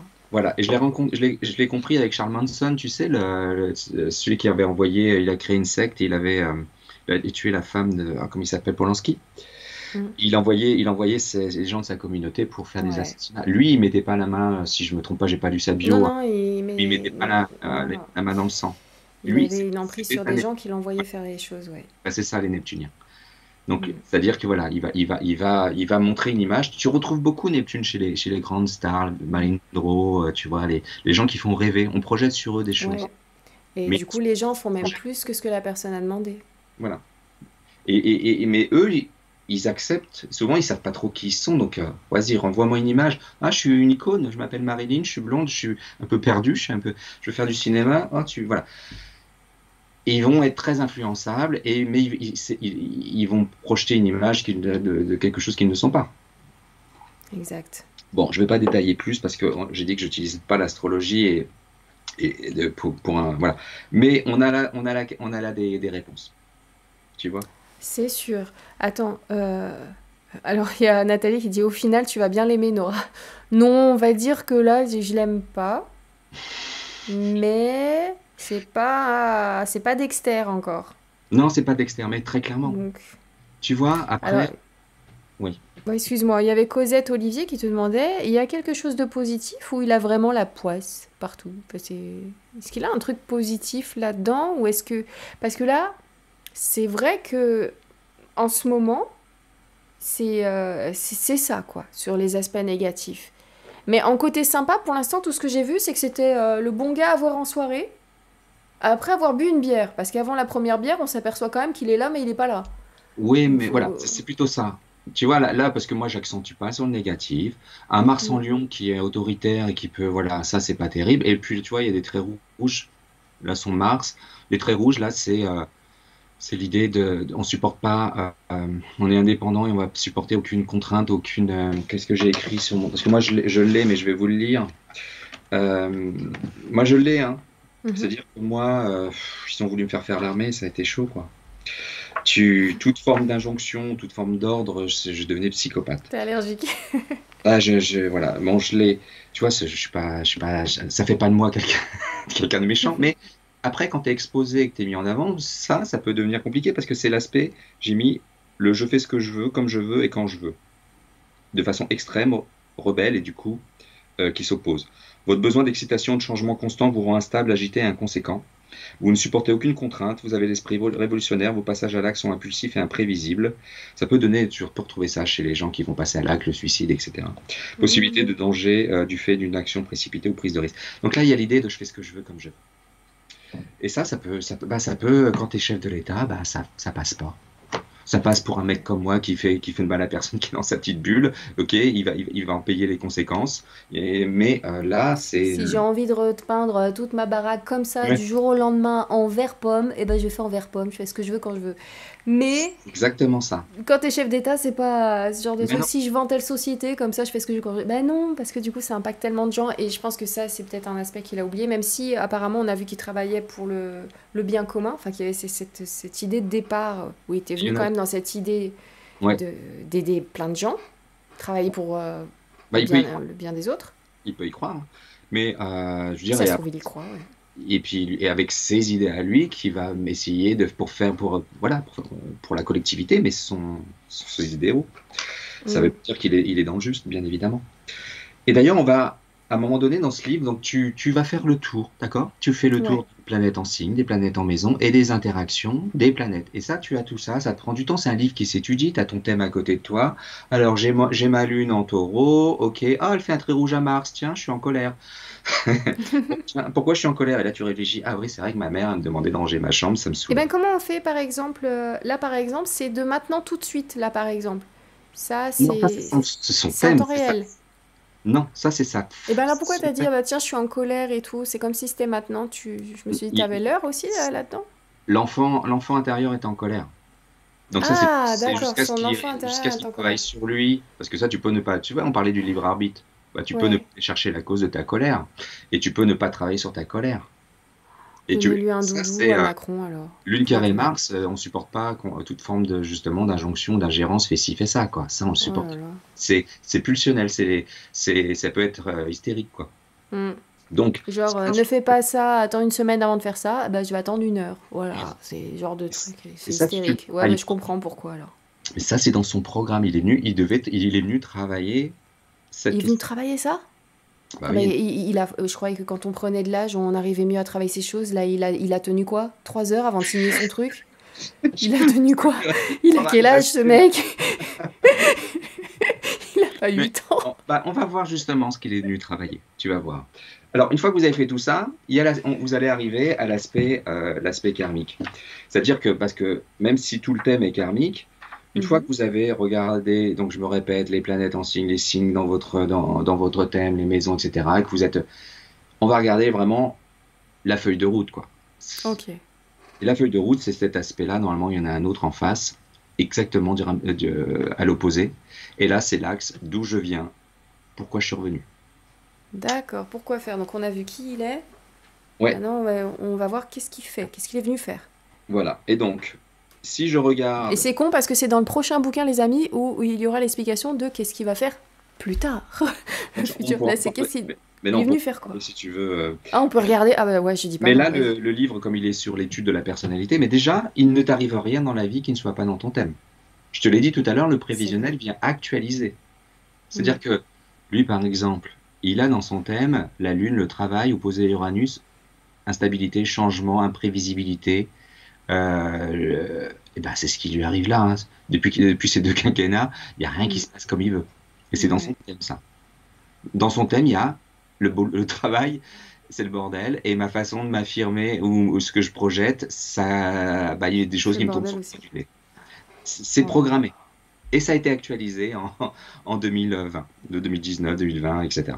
Donc tu vois, il y a, c'est, décrit, et à un moment donné, Planète, elle arrive et Mais, mais quelqu'un lui lit son thème ou pas, Bichette Là, j'ai la limite, j'ai de la peine. Je me demande. Mais tu vas voir. Il écoute pas, de toute façon, vu ce thème-là. Il écoutera pas, vu bah qu'il écoute pas quand on lui dit qu'il se bah plante. Il fait. Tu, lui dis blanc, il dit noir. Tu lui dis noir, il dit blanc. Et là, tu vois. Nora. oui, non, pardon, excuse-moi. je recadre. moi, j'ai un, mental en Capricorne, c'est-à-dire que moi, je recadre. Ah ouais, ouais, ouais, merci. Euh, Emmanuel je suis dépité, là. vient du bélier, qui est le signe de la combativité, de la guerre, du courage, euh, de l'indépendance, de, de l'agressivité, l'esprit de compétition et tout. En gros, il vit, dans une vie antérieure, tu vois, il, est venu travailler la balance, signe de la paix, de l'harmonie, de la justice et le signe de l'autre. Donc je vais te lire ce que j'ai écrit. Vous devez travailler la relation et la prise en compte de l'autre dans votre vie. Vous avez pu être égocentrique et dominant dans les autres. Un guerrier, par exemple. Mhm. Lui, il a un truc en lien avec l'argent et le, pouvoir. Il a déjà eu le pouvoir. Vous venez accéder à l'harmonie, à la justice et la beauté, l'art par exemple, dans votre vie. Vos relations et vos partenariats favoriseront vos destinées lorsque vous cesserez de vouloir contrôler et dominer. Il est venu travailler ça, notamment, il y a d'autres choses. Il est venu travailler ça. Donc, il sera heureux le jour où il lâchera prise avec tout ça, tout ce pouvoir et ce contrôle. Quand il arrivera à le lâcher, il trouvera le bonheur. Il est venu, oui, c'est ça, il est venu travailler ça et là, il, y est confronté. Il y est confronté. Il est venu, il n'avait pas ça dans ses valises. Le relationnel, il n'a pas ça dans ses valises. il est venu l'expérimenter. Et un peu plus fort, à côté de son axe, son objectif d'incarnation, il a Pluton, le pouvoir. Qu'est-ce que ça veut dire d'avoir Pluton, le pouvoir, à côté de l'objectif d'incarnation? Mhm. Je vais te le lire. Je mets le suspense, tu vois. Ouais, je vois ça. Je Alors, votre âme a pour objectif que vous osiez votre puissance personnelle. Vous êtes venu expérimenter le pouvoir à votre échelle, parce que bah, j'en ai rencontré des consultants. Un jour, j'ai une. Ça peut être un héritage très fort. J'ai une dame, elle était héritière d'une grande famille aristocrate, elle avait des châteaux un peu partout. C'est très lourd. Tu viens porter un truc très lourd sur tes épaules. Ce peut être lourd à porter et non sans risque de chute ou de danger. Vous pouvez exercer une influence sur autrui, devenir thérapeute par exemple. Vous pouvez vous accomplir en œuvrant dans les métiers autour de la mort, la souffrance ou la violence. Vous pouvez accéder à des connaissances cachées, à des vérités. Il y a la mhm. possibilité de travailler dans le milieu de la finance ou avoir à gérer la richesse ou un héritage important. Bon, lui, il est mhm. thérapeute, il n'est pas en lien avec la mort, il est plutôt dans le pouvoir de l'argent, mais dans la, dans la, finance, mais il est aussi venu expérimenter le pouvoir. on va pas se mentir, il mange le gars. Hein. Il mange là. Et là, le libre arbitre, c'est comment je gère le pouvoir. Est-ce que je bascule dans l'abus de pouvoir ou est-ce que je bascule dans euh, bah, tout ce qu'il y a de sombre par rapport à ça, à des secrets, à des connaissances, parce qu'il a dû accéder à des, secrets, à des mhm. connaissances. Je dis, tu peux être un thérapeute, hein, ou tu peux, euh, tu peux être. Euh, il y a beaucoup de gens, médiums, des gens comme ça qui ont ça, qui peuvent avoir une influence sur les autres. Il est venu expérimenter le pouvoir. Où est la planète? Parce que je t'ai dit, l'objectif d'incarnation est en balance. Balance, c'est le signe de Vénus. Où est Vénus? Dans la maison 11, souvenez-vous, tout à l'heure, je vous ai dit que la maison 11 était la maison de la politique. C'est redit une nouvelle fois, mais en tant que projet d'âme. Donc il est écrit deux fois qu'il vient œuvrer pour le collectif. Après, le libre arbitre, c'est tu vas y arriver, gars, ou tu vas pas y arriver. Ouais. Mais il va avoir compris des choses. Hein. Il va. Moi, j'aimerais. Ouais, dis-moi. Ça, quand tu as ça, euh, c'est comme si. En fait, tu, tu, te charges la mule, quoi. Ouais. Et je pense que dans 20 ans, 30 ans, il ne sera plus le même, j'espère, je le souhaite. Ben, c'est ce que j'allais te dire, parce que moi, ce que je vois, c'est que quand il, quand il aura plus à travailler ça, quand ça va se détendre, il sera heureux. Et je comprends aussi qu'apparemment, si monsieur est heureux, je vais être super heureuse aussi. Il bah, aura lâché la grappe, vu qu'il aura lâché ce... cette emprise qu'il a sur les gens. Est-ce qu'on peut voir dans son thème à quel moment quasiment tout est inscrit, est-ce qu'on pourrait voir à un moment où il serait super heureux? Où il serait détendu, où les planètes seraient plus douces, ou à partir de là, je pourrais me dire, ah tiens, dans peut-être 5 ans, 10 ans, 1 an. Non, ça marche pas, ça marche pas comme ça? Ça marche pas comme ça parce que ce que tu vois dans le, dans le, dans le prévisionnel et dans l'étude du thème, c'est la subjectivité de la personne. Ouais. Son bonheur peut, faire, peut être ton malheur. Hein il peut être très mm. bien, vivre des choses très très bien, mais qui en fait ne l'est pas pour les autres. Donc c'est pas comme ça qu'il Non, mais parce qu'apparemment, il n'est pas quand même à l'aise dans cette façon d'utiliser ce pouvoir-là sur les autres. Il, est venu pour travailler ça. Donc est-ce qu'il aura réussi dans sa vie ou pas du tout? On peut faire toute une vie sans réussir à, passer au-dessus? Et qu'il agira toujours comme un gamin et... L'incarnation est un cheminement. Donc euh, tu n'es pas sûr d'arriver au bout. Ah, Après tu reviens ou tu travailles entre les deux. Parce que l'objectif d'incarnation, ça parle aussi des vies d'après. Hein. Tu sais, c'est vraiment, on est là dans le libre arbitre, hein, dans est-ce que je vais comprendre les leçons, à quelle vitesse je vais progresser. C'est vrai que toi, d'ailleurs, avec, euh, les, euh, avec ça, tu as, euh, avec le thème astrologique, tu arrives à avoir les vies antérieures. Oui, là pour moi, il a été, pour moi, il a été un dominant, un dominant et qui a pu, qui a pu gagner de l'argent ou faire du pognon en dominant, en dominant les autres. Après, euh, bon, euh, en tout cas, on est dans une dynamique de, domination ou, même peut-être d'agression. Mais bon, ça, après, j'ai pas le scénario, moi. Hein. C'est toi qui me disais, euh, t'as pas le son et l'image, c'est exactement ça. Mm. Je voudrais juste finir avec son thème sur autre chose au niveau karmique, c'est que tu as la fameuse Lilith, qu'on appelle la lune noire, et qui va nous parler. Euh, alors, moi, je ne l'ai pas là normalement. On n'a pas la même. On n'a pas la même avec celle que j'ai moi. Euh, je ne sais pas pourquoi. La lune noire, ça va être une problématique que tu vas te traîner, que tu vas devoir dépasser. D'accord? Une dette karmique, une blessure karmique. Et lui, elle est en gémeaux. Et tu vas voir. Je vais, je vais juste lire. Hein. La lune noire en gémeaux. Vous avez pu mal utiliser votre pouvoir d'expression via la parole, les écrits, critiques, accusations, dénonciations, trahisons, mensonges. Aujourd'hui, vous pouvez éprouver des difficultés à communiquer ou vous exprimer. Donc, euh, je, bon, je pourrais, il y, a tout un, donc rien que ça, ça, voilà, ça, je pense que c'est assez parlant. Et donc, euh, bon, tu vois, donc il arrive avec des, des, boulets, il arrive avec des choses à dépasser, il arrive avec des choses à transcender, à, voilà. Mm, il y a Lorraine qui dit à croire qu'il répète ses vies en boucle, le petit. Ben, les mêmes erreurs. Alors souvent, on vient dans un contexte similaire pour les dépasser. D'accord. Eh ben, on n'en a pas fini avec lui. Hein. Vu l'âge qu'il a et qu'il n'a pas fini, là. Je pense qu'il va... Oui. Et c'est là où il y a libre arbitre. Hein.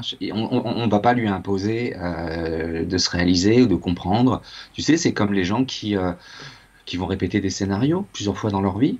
Mm. Il y a des gens qui vont, qui vont se saboter, il y a des gens qui vont se suicider, il y a des gens qui vont se, se, pourrir la vie, quoi. comment, comment on peut l'aider du coup là? À accélérer Qu'est-ce qu'on lui envoie des courriers avec des, petits cœurs, des euh, c'est bien ce que tu fais, ou alors on lui dit de pas faire ce qu'on voudrait qu'il fasse en vrai pour essayer de contrecarrer le truc. Bon, à part, intervenir en tant que thérapeute ou être euh, astrologue, un ami astrologue, tu vas pas. Comment on peut aider quelqu'un comme ça Faut que la personne veuille. Dire, le consultant qui vient me voir, il est à l'écoute de ce que je veux lui dire. Donc ma, ma parole aura du poids. Et si moi je te chope en soirée, tu es là avec ta bière et que je te dis, hey, tu devrais pas faire ça, et tu vas me dire, eh, vas-y, dégage. Ouais, S'il n'est pas en demande, euh, c'est pas la peine.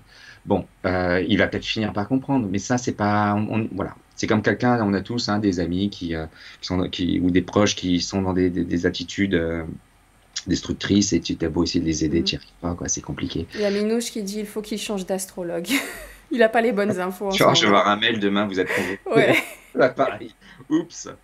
Et Griffin qui dit Je pense qu'on a tous redoublé plusieurs fois sur cette bonne vieille terre, mes amis, donc on va être indulgent, mais c'est juste que, que, que lui, il, a, il, il impacte beaucoup de monde, c'est ça le truc. Et c'est là où on a, euh, ouais, on a tous vécu des, on a tous eu des rôles un peu, un peu, un peu, un, peu, j'ai dit un peu pourris, quoi. On n'a pas, on n'a pas eu que des. Si on vient, c'est qu'on a des choses à travailler. Et le thème nous dit, voilà ce que tu es venu retravailler. Bon. Il y a GC qui dit, je ne suis qu'un enfant malgré mes 42 ans et ma grosse barbe. Mais ouais, mais de toute façon. De toute façon non, euh, je suis dure avec lui, j'avoue, mais il m'a beaucoup énervé, donc je suis un peu moins indulgente. Euh, parce qu'il impacte nos vies et que, purée, on, bouge-toi et écoute-nous, quoi. Et donc, ça, c'est insupportable. C'est insupportable. Mais bon. Je, on est, le but, c'était pas le, le, le, faire de, la Non, c'est vrai, c'est vrai. Ouais, je suis partie, moi, pas mal sur, euh, sur le contenu, mais en même temps, ça me permet. Attends, je reviens avec toi. Reviens. En même temps, ça me, ça me permet de savoir tout ce qu'on peut apprendre et tout à matcher. Oui, et puis comme je disais, l'astrologie te permet, permet, de te découvrir en lisant mon livre euh, avec ton thème, et c'est aussi les, tes proches et tes enfants. Tu vas pas. tu vas pas demander à, ton euh, à, si ton fils est bélier à, se comporter comme une sage une sage vierge ou c'est-à-dire que c'est et c'est avec ça avec tout le monde Évidemment, tu as des gens, mais tu as, des psychopathes et tu as des gens dangereux. Et là, euh, il, faut s'en protéger. Mais euh, tu sais pourquoi ils fonctionnent comme ça. quoi. J'ai des, thèmes glauques. Hein. J'ai des thèmes vraiment glauques. Là, je vais pas dire le nom, mais il y a un, acteur célèbre et on, est accusé d'agression de, sexuelle. Bah, je demande à mes élèves, allez voir, est-ce que vous, avez l'aspect des prédateurs? Et eh ben, ah, comme par hasard, on a l'aspect des prédateurs. Bon, bah, astrologiquement, on a de fortes chances. De toute façon, moi, je, l'ai vu sur un tournage, donc. Euh, bon, tu sais que tu, vas le trouver. En fait, quand tu es astrologue, tu sais ce que tu peux trouver selon des situations. Donc, tu vas voir quelqu'un, tiens, accusé de meurtre. Est-ce qu'il y a, qu'il y a les, possibilités? Oui, non. Et là, tu, tu dis, ouais, bah, c'est possible. Des fois, tu vas pas le trouver. Donc, tu, tu, bon, ça veut pas dire que ça n'y est pas, mais tu vois, c'est comment dire euh, après il y a le facteur aussi euh, il y a le facteur euh, libre arbitre Il y a des thèmes très durs où les gens ne vont pas passer à l'acte ou ne vont pas devenir des psychopathes. Eux, ils ont gagné le combat. Ils gagnent le combat ou ils vont transcender. Ce que je dis souvent, tu peux transcender tes difficultés au travers d'un travail. Je, mm. Truc basique, tu es agressif ou tu es violent, bah, tu vas faire une activité, tu vas travailler la, la, brave. Puis voilà, tu vas exulter, tu vas, tu vas, tu vas décharger. Tu, c'est souvent comme ça. Tout comme tu as, tu peux avoir des manques dans ton thème. Tu peux manquer de tel et de tel. Euh, je l'ai pas détaillé, vous l'aurez dans le, dans le livre. Il y a des signes d'eau, des émotions, il y a des signes de feu, l'action, il y a des signes de terre, le pragmatisme, des signes d'air, la communication. Tu peux en manquer dans ton thème. Tu peux manquer de signes de terre. Tu peux ne pas être, tu peux être plein d'idées, mais pas être capable de le concrétiser dans la matière. C'est ça. Les signes de terre, ils vont concrétiser dans la matière. Les signes d'air, ils vont avoir des idées. Et eh ben, tu vas avoir, tu peux euh, rencontrer un partenaire qui va te permettre justement de travailler ton manque. Un partenaire qui va être signe de terre s'il te manque. C'est exactement ce qui m'est arrivé. Ma femme est signe de terre et quand elle m'a connu, j'étais, euh, j'étais sur une montgolfière. Elle, elle redescend, Jacques. Tu sais que tu peux travailler, que tu peux gagner ta vie. Euh, ça fait pas mal. Ok. Mm. Parce que moi, ça me manquait dans mon thème. C'est génial. Donc, on commence par nous. On commence par nous. On peut aller voir un petit peu les autres. Euh, voilà, d'autres présidents. J'ai vu d'autres noms passer sur le chat, par exemple, euh, des acteurs. On peut regarder un petit peu. Et on peut aussi voir avec son couple. Ah, l'autre personne, voir si on a des choses que, que quelqu'un, que, que l'un a mais l'autre n'a pas, peut-être plus se comprendre du coup sur nos blocages et ce qu'on a nous-mêmes à travailler. C'est ce que je fais. J'ai une, une, prestation, c'est comparaison de thème, donc euh, synastrie. Mmh je compare les deux thèmes des deux personnes. Alors ça ne valide pas ou ça n'invalide pas le couple. Ça dit, ça dit ça. Pourquoi, voilà, pourquoi vous êtes ensemble? Parce que hein, on a tous un, oncle Robert, une tata Ginette qui sont ensemble depuis euh, des années et ils, se tapent dessus.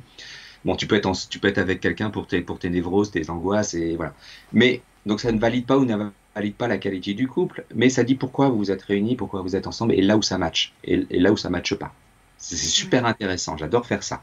Donc tu peux regarder le thème de l'autre. Dans mon bouquin, euh, à un moment donné, pour ceux qui, euh, pour justement l'interprétation, à la fin, je, donne des, clés pour interpréter. Comment on interprète un thème?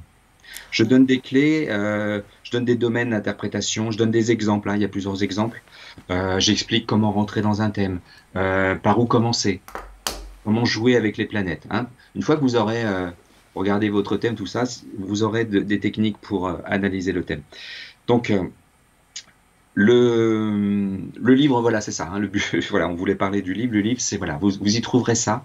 Comment, ce qu'on vient de faire avec Macron, en prenant chaque clé, comment je les lis. Et à la fin, vous allez harmoniser tout ça. C'est là peut-être le plus dur. Je ne vous dis pas que vous allez euh, être des as de l'interprétation, parce que c'est comme un jouer d'un instrument. Hein. On peut faire ses gammes, et avant de, composer des morceaux, ça va être euh, plus long. Mais vous aurez, euh, vous aurez une vue d'ensemble déjà, comment dire, assez satisfaisant, je pense. Je voulais juste parler de quelqu'un. Tu sais, on a parlé euh, pour te montrer les contradictions. Ouais. Zelensky. Ah. Regarde. Je trouve intéressant. que tu es sur le site internet? Euh, Oui, Astrothème, là où je suis. D'accord, ok. Ok, je ne savais pas que tu l'avais retiré. Hmm. Donc, le gars, vous voyez, il est verso, je vais vous expliquer et après ce que ça veut dire. Il est verso, il a la maison de la carrière, la maison 10, vous le verrez dans mon livre, c'est la carrière en verso. Le verso, c'est le signe des nouvelles technologies, du cinéma, de la télévision, des réseaux sociaux, d'Internet. Le gars, il a fait sa carrière à la télé. Bon. Il est ascendant Gémeaux. Souvenez-vous, l'ascendant, c'est la partie la plus spontanée, la plus naturelle. Mm. Gémeaux, c'est le signe de la communication. Vous en trouvez beaucoup dans les médias. Et puis, donc le gars, il a été acteur, comique, il a fait sa carrière à la télé. Tu te dis, euh, ne peut pas être président. Mais je vous ai dit tout à l'heure que la maison 11, qui est vide chez lui, était associée au verso. Le verso, c'est le signe des idées de la politique. Donc il pouvait être comédien et politicien. pas forcément les deux. Pas forcément les deux. Moi, je suis verso, je ne serais pas politicien, je suis astrologue. C'est aussi l'astrologie, c'est l'avenir. Tu vois, on ne va pas valider tout dans un signe. Comme je dis à mes élèves, le Sagittaire, c'est le cheval parce que c'est un centaure, tous les sagittaires vont pas faire du cheval. Mm. Mais par contre, tous ceux qui ont du sagittaire vont faire du enfin tous ceux qui font du cheval vont avoir du sagittaire. Tu vois le raisonnement Tous les versos vont pas être astrologues ou être politiciens. Mais il faut en souvent ils en ont quand ils font de la politique. Donc Zelensky, il est verso, donc il avait fait de la, télévision. Maintenant, il fait de la politique. Et il était dans la séduction, le gars, euh, voilà, un comique. Mais qu'est-ce qu'on a en face de son soleil? On a Mars, comme Macron en Lion, c'est la même génération. Mhm. Donc, le côté, tout à l'heure, j'ai lu Mars en Lion, les chefs. Opposé au soleil, ça fait de lui un, un battant, un guerrier. Mars ah, le soleil, ça fait, ça fait de lui un combattant. Donc c'est d'autant plus facile d'aller en guerre. Donc voilà pourquoi, contre toute attente, il y va quoi. Et lui aussi, il vient de la guerre. Il est venu travailler la même chose que Macron. Regardez, ceux qui ont, vu hein, tout à l'heure, qui ont bien intégré le thème, c'est la même génération, on a la même chose. Hmm, le neuneur en balance, il est venu travailler l'altérité, la paix. Et Pluton, il est venu porter sur ses épaules un pouvoir. Hmm. Sauf que lui, contrairement à Macron, tout à l'heure je l'ai pas dit, il a, il a, lui, il a ça dans la maison de, de, de l'argent, du pouvoir et de l'argent. Lui, il a la maison de dans la maison de la créativité et de l'art. Mais tous les deux, ils viennent porter quelque chose. Ils viennent de la guerre déjà, et ils viennent porter quelque chose. Sauf que lui, il est beaucoup plus, il, a vraiment l'aspect des combattants. Donc tu vois, dans un même thème, tu as le comique, l'acteur, et tu as le guerrier, quoi. Mais tout ça, c'est des potentiels qui vont s'actualiser à un moment donné, avec le prévisionnel. Mm. Là, euh, c'est vrai que sur Internet, on disait, tiens, Macron, ça va être chaud. Il y a beaucoup de gens qui prévoyaient hein, qu'il allait, euh, on va rester dans cette fenêtre, qui prévoyaient qu'il allait, euh, que ça allait être dur pour lui. Ça a été dur, mais il n'a pas lâché. Parce qu'il était, il était aidé par, là, là je suis dans le prévisionnel, hein, je ne suis plus dans mon bouquin. Il a été aidé par une planète qui s'appelle Saturne notamment et qui permet de garder le contrôle. Mais très clairement, à partir de, et je vais pas aller plus loin, mais à partir de mai 2024, euh, pendant plus d'un an, un an et demi, ça va être chaud. Hein. Oh non. Pour lui. Arrête. Pour lui, pour lui, pour lui. Pour... Ah Mai 2024, c'est noté, mon agenda. Je, je me mets une alerte. Mm. ok. C'est pour nous, je te jure, je suis fatiguée, je suis épuisée. Ce que j'entends par chaud, c'est que voilà, c'est la perte de contrôle, la perte de repère et les choses vont lui échapper. Quoi je me demande même s'il va pas lui tomber des trucs sur le coin du nez, euh, tu vois, des choses, des, choses qui vont se dévoiler, etc. Pendant combien de temps? Un an et demi? Oui, oui, oui, mais... Ce serait pas une petite période juridique, ça, parce que c'était dans son thème, hein, on l'avait vu qu'à un moment ça allait tomber euh, judiciairement parlant. Faut pas trop déconner avec la justice. Allez, un petit 1er mai 2024, hop, réveil activé. Tu vois, jusque-là. C'est pour te répondre, parce que tout à l'heure tu me demandais quand est-ce que, que, Voilà. Bon, Là, pour le moment, il a tenu, il tient, il a des aspects qui sont là, qui sont porteurs, mais ça va pas durer. Ça va pas durer. J'ai même fait une petite, tête, une petite alerte une semaine avant là pour fêter ça un petit peu plus tôt. je rigole, je suis taquine, mais. là, c'est pas. les, amis, juste je me remets à l'écran. Vous avez une non vaccinée là en face de vous. J'ai le droit. J'en ai bavé. Voilà, merci. je te remets à l'antenne. Je sais pas, alors je suis à l'antenne là? Ouais, vas-y, vas-y. Mais euh, le prévisionnel, non, c'est pas la planète, elle arrive pas. Le cas, le cas, je sais pas quelle date j'ai dit, euh, elle, ouvre pas une porte comme ça. C'est comme une vague qui arrive, tu sais, tu la sens. Ah bah si elle commence plus tôt, euh, marhaba comme on dit chez moi. de... je souhaite pas du mal, hein. C'est mais là, là non, on parle de judiciaire, de, un moment, tu sais, je parle pas de trucs. C'est un aspect qui va, c'est un aspect de désillusion, de perte de contrôle et de. de, réveille, où est-ce que je vais c'est comme, euh, je crois, j'avais regardé aussi Poutine, là, il va perdre le contrôle. C'est pareil, il a un aspect de cette, de cette, même planète, Neptune, qui va faire que tu gères plus, quoi. Tu gères. Euh, nous, dans notre vie lambda, ce que va vivre là, je sais pas quand il le vit, euh, Poutine, c'est quand tu, tu, tu, perds ton boulot, tout s'échappe, tu sais que tu sais de faire un truc, ça prend pas, euh, tu as, des obstacles, des trucs qui. Tu n'as pas t'as pas de mamise sur les choses, sur les événements. Et c'est ce qu'il a, lui. Non, bon, j'ai pas, j'ai pas détaillé trop je pas trop. Je fais des, beaucoup d'études de thèmes avec mes élèves. mais tu as mis une lumière au bout du tunnel, tu peux pas savoir à quel point euh, ça fait du bien. Même si, elle est, même si le résultat sera petit, mais quelque chose qui fasse que, je te jure, ça fait du bien. Il y a Marie qui dit livre commandé, il a l'air tellement intéressant. Ouais, puis surtout ce que j'apprends qu'on peut en faire. Ouais, oui, c'est ça. Alors, trop bien. tu disais, hein, ça demande, ça demande du, ça, ça s'étudie. as ton thème à côté, tu, tu tournes les pages. C'est pas un livre que tu lis, peut-être l'introduction, tout ça. Là, j'ai une amie, euh, enfin une amie, une connaissance, elle l'avait acheté, elle comptait pas le lire. Elle, était sur une autre formation, elle m'a engueulé, elle m'a dit, je l'ai lu jusqu'au bout avec mon thème, j'ai étudié à fond et je pense, je dors astrologie. Merci Jacques. Bon, ça m'a fait mm. sourire. Euh, c'est Carole, si elle se reconnaît. Bah, en fait, c'est mes cours, c'est ma passion c'est ce que mes élèves m'ont fait, euh, m'ont fait comprendre de, euh, de comment je pouvais le partager, qui, qui, sont dans ce bouquin. C'était pas prévu ce livre. Hein. n'était pas prévu. J'avais pas l'intention parce que je ne pas, je suis pas un théoricien et je pensais pas faire un livre de plus sur l'astrologie, mais en fait, si j'ai pu, tu vois, donner la passion et en même temps faire que les gens ils comprennent des choses sur eux, c'est l'objectif de ce livre. C'est pas de faire un, un livre pour vous faire de vous des astrologues. Ça, il y en a plein d'autres. Donc voilà, voilà ce que... C'est juste euh, magnifique. Je te remercie d'avoir pris le temps de, faire ce livre. Je, rappelle, grâce à Marie, donc le lien vers le site de Jacques, donc euh, www.jacquesbirolini.com. N'hésitez pas à aller y faire un tour, les amis. C'est important. Et puis, euh, si vous voulez comme ça en apprendre plus sur vous directement, si, si pour vous ça, ça, reste quand même un peu du chinois ou que vous n'avez pas le temps de vous poser dessus cet été, Allez voir directement Jacques. Moi, c'est ce que j'ai fait tout de suite parce que j'ai cette phobie de, des chiffres. Et euh, dès que j'en vois, je vois flou. Et donc, tu m'as beaucoup aidé. Mais par contre, là, tu m'as vraiment beaucoup intéressé avec justement cet exemple. Et je suis contente. Et c'est aussi pour ça que je voulais qu'on prenne quelqu'un de connu. Après, j'ai fait le choix de Macron, mais quelqu'un de très connu pour qu'on puisse tous valider ou pas si, selon la personne. Là, pour moi, ça match. Il a, il a quelques petits bons côtés. Il fait la fête. Oui, et puis j'ai pas accentué. Il mettre du cœur. J'ai pas accentué sur le négatif, comme je te dis, je voulais pas, hein, je voulais pas me servir. Tu vois, suffisait. J'ai une déonto, j'ai pas envie de me servir de mon outil qui est pour moi un outil divin, mm. quoi. J'ai un grand respect pour l'astrologie et je vais mm. je veux pas m'en servir n'importe comment. On lui souhaite pas du mal. Tout ce qu'on lui souhaite, lui souhaite, c'est réussir. Ce pourquoi il est venu, parce qu'apparemment, s'il réussit, on est tous contents. Donc, euh, en tout cas, je serais contente pour lui. En tout cas, il, il nous prendra moins la tête. Tu sais, il faut du temps hein, pour réussir ce genre de challenge. Il s'est mis, s'y mettre plus tôt. Sinon, bah, ce voilà, sinon après on lui dit bah écoute, euh, on se retrouve là en 2024, en mai. Et que les, les, Capricornes, ils se détendent avec le temps. Hein. J'ai tendance à dire que les Capricornes font des jeunes vieux, des vieux jeunes, c'est-à-dire ils sont un peu coincés, un peu raides quand ils sont jeunes, ils se détendent, ils se bonifient, ils apprennent à sourire. Alors, J'ai hâte pour lui. Les Capricornes, vous vexez pas, hein, personne n'incarne le Capricorne à 100%. Quand je parle des, ça, des Capricornes, voilà, je ne parle pas de vous spécialement. Mm. Voilà.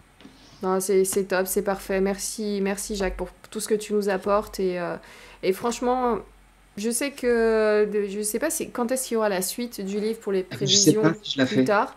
Laisse-toi guider comme tu as été guidé pour celui-ci. Je pense qu'il a dû tomber au bon moment. Oui, je sais pas parce qu'après, du coup, c'est un peu plus technique parce que le prévisionnel, il faut vraiment avoir les bases. Mm. Euh, je, il n'y a plus qu'à, hein, le plan est fait, j'ai plus qu'à remplir les cases. Hein. le livre, il peut être fait. Va, je sais pas si je le fais ou pas. Euh, ma femme a fait attends, on va se reposer parce que moi l'été dernier j'ai pêché les vacances, je te raconte pas. Bon, je vais voir. Ok. en tout cas, il y a la magie sur Terre qui nous dit super intéressant. Ça donne vraiment envie d'avoir le livre avec son thème à côté. Gardez-vous-le en mémoire, ce, ce livre-là. Si vous avez même pas le temps de le bosser en ce moment, je vous le remets à l'antenne. Euh, voilà, vous allez voir là, manuel d'astrologie karmique, comment lire sa carte du ciel pour révéler ses potentiels. Ça révèle beaucoup de choses que ses propres potentiels, c'est ça qui est dingue. Alors oui, il faut accepter des fois de... Alors, vous prenez pas tous les, toutes les qualités, tous les défauts pour vous, mais des fois, vous allez...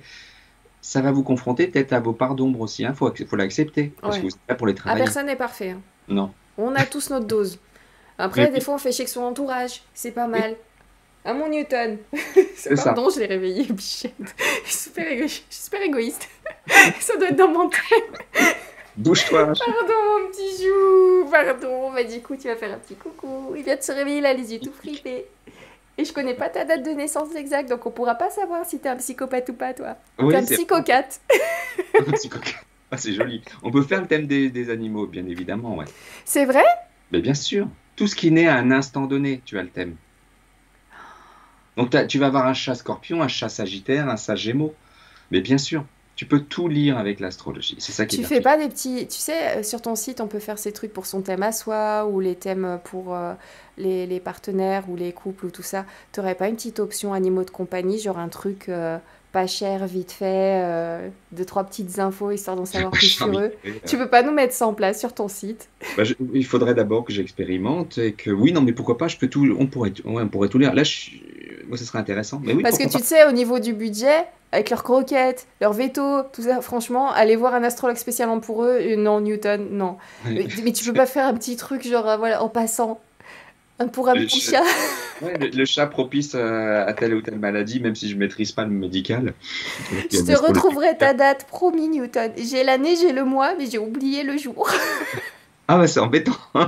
mais par contre, j'ai des photos de lui quand il était tout petit Donc j'ai approximativement la semaine de naissance. ça peut le faire ou pas? Bah, En tout cas, tu connaîtras le signe. Moi, je sais que le mien, il est scorpion. Et euh, effectivement, il, tu vois, c'est pas le gros chat patapouf. Quoi, ah non, moi, il est comme, euh, comme Guillaume, il est bélier. ok. Il est d'avril. Il, il, est de ce mois-ci. Il t'ouvre les fenêtres avec la tête, c'est ça? Ouais. Ah bah tiens, joyeux anniversaire, mon pote. ça, c'est fait. Alors, je dis pas que Guillaume, il ouvre les fenêtres avec sa tête. Hein. il y a une chatière, là, il regarde, il va, il va s'enfuir, Michel. Mais là, il redort sur moi, sérieusement, c'est... Euh... Regarde, il, ferme les... Bon, allez, les amis, on va y aller, hein, parce que je crois que c'est le chat s'endort. Attends, je te repose, mon ami. voilà. Et euh, donc les amis, voilà, manuel d'astrologie karmique, je savais qu'on passerait une super soirée, elle était encore plus belle que ce que je pensais et ça ah, fait du bien. super parenthèse avec toi, ne change pas, ou change suivant ton thème. ça change au mieux. change au mieux. Prends les meilleurs aspects, suis la voie. Et puis, euh, et puis les amis, j'espère que ça vous a donné envie pour ceux qui ne sont pas connaisseurs du tout. Et j'espère que pour ceux qui connaissent, bah, que ça va vous permettre d'avoir un petit livre facile à utiliser rapidement voilà, pour, euh, pour s'adapter avec les copains. Et pour ceux qui sont professionnels, bah, peut-être que vous allez découvrir une autre façon de, de voir ce travail-là et, euh, et comment aller encore plus vite et du moins en tout cas appréhender euh, l'astrologie par le biais d'une autre personne parce que ça date depuis la nuit des temps donc euh, voilà chacun son petit truc et je sais que toi Jacques ça match en tout cas avec moi et avec beaucoup de nuréens ta technique donc Merci de la partager sur Nurea TV, franchement. Bah, merci à toi de m'avoir invité. L'astrologie mérite vraiment qu'on s'y intéresse. Euh, donc merci à toi d'avoir permis déjà de parler de mon livre, de m'avoir invité à plusieurs reprises. Je remercie les éditions Exer qui m'a voilà aussi. Et puis à Astralium, Marion, T'as vu les, enfin moi je, les, cartes elles sont magnifiques. Si le jeu un jour il sort, je, voulais qu'elle fasse les illustrations de ce livre parce que c'est les mêmes que les cartes et euh, j'adore. Donc je, si vous pouvez aller voir son site, c'est pareil. C'est hâte d'avoir les cartes, hein, d'en a parlé. Hein. Ah, magnifique. Bah ça ressemble à ce qu'il y a dedans. C'est génial. Merci à toi en tout cas, merci à tous. merci, merci Anita pour ton super joli message, adorable. Merci beaucoup. Merci les amis, je vous embrasse très fort. Donc on se retrouve très vite sur Nuria TV. Cette semaine, vous allez retrouver d'ailleurs mercredi Guillaume en compagnie de Howard Crowhurst. Ah, un ancien qui revient sur Nuria TV et pas un des moindres. Là, ça va être... Oh vous vous souvenez ou pas des, des trois carrés, des bicarrés, tout ça? Et eh bah tant mieux, si vous en souvenez pas, vous allez avoir le nez qui va saigner, ça va être... Oh, vous allez y aller à fond. En tout cas, c'est une super émission sur euh, Versailles et ça va être juste magique et vous allez passer une bonne soirée mercredi soir. Et en attendant, procurez-vous le manuel d'astrologie karmique, vous le gardez, vous l'avez de côté si vous avez le temps. Vous mettez dessus, si vous n'avez pas le temps, vous le gardez pour cet été ou n'importe quand quand vous pouvez placer vos vacances parce qu'on n'a plus du tout les vacances en même temps, les amis. Donc dès que vous avez un moment, vous vous posez dessus. C'est facile à lire, c'est facile à comprendre. Merci d'avoir parlé comme tu nous as parlé ce soir. Donc dans ce livre, vous n'allez pas retrouver un texte pompeux ou quoi. C'est Jacques, tout simplement Jacques, qui vous parle et qui fait des blagues. Et euh, je te jure, j'adore les questions, les réponses, les trucs, j'adore les petits clins d'œil et tout. C'est tout à fait toi. Je t'ai reconnu, j'avais l'impression d'avoir ton image devant moi pendant que je lisais. Donc merci de l'avoir fait comme ça, aussi simplement. Et ça pouvait pas être autrement quand on te connaît, mais voilà, c'est super sympa de, à toi de le faire, comme ça. Les amis, passez une belle soirée. Jacques à très vite sur Nuria TV. Et d'ici là, surtout n'oubliez pas, gardez les pieds sur terre et la tête dans les étoiles. Ciao Au revoir.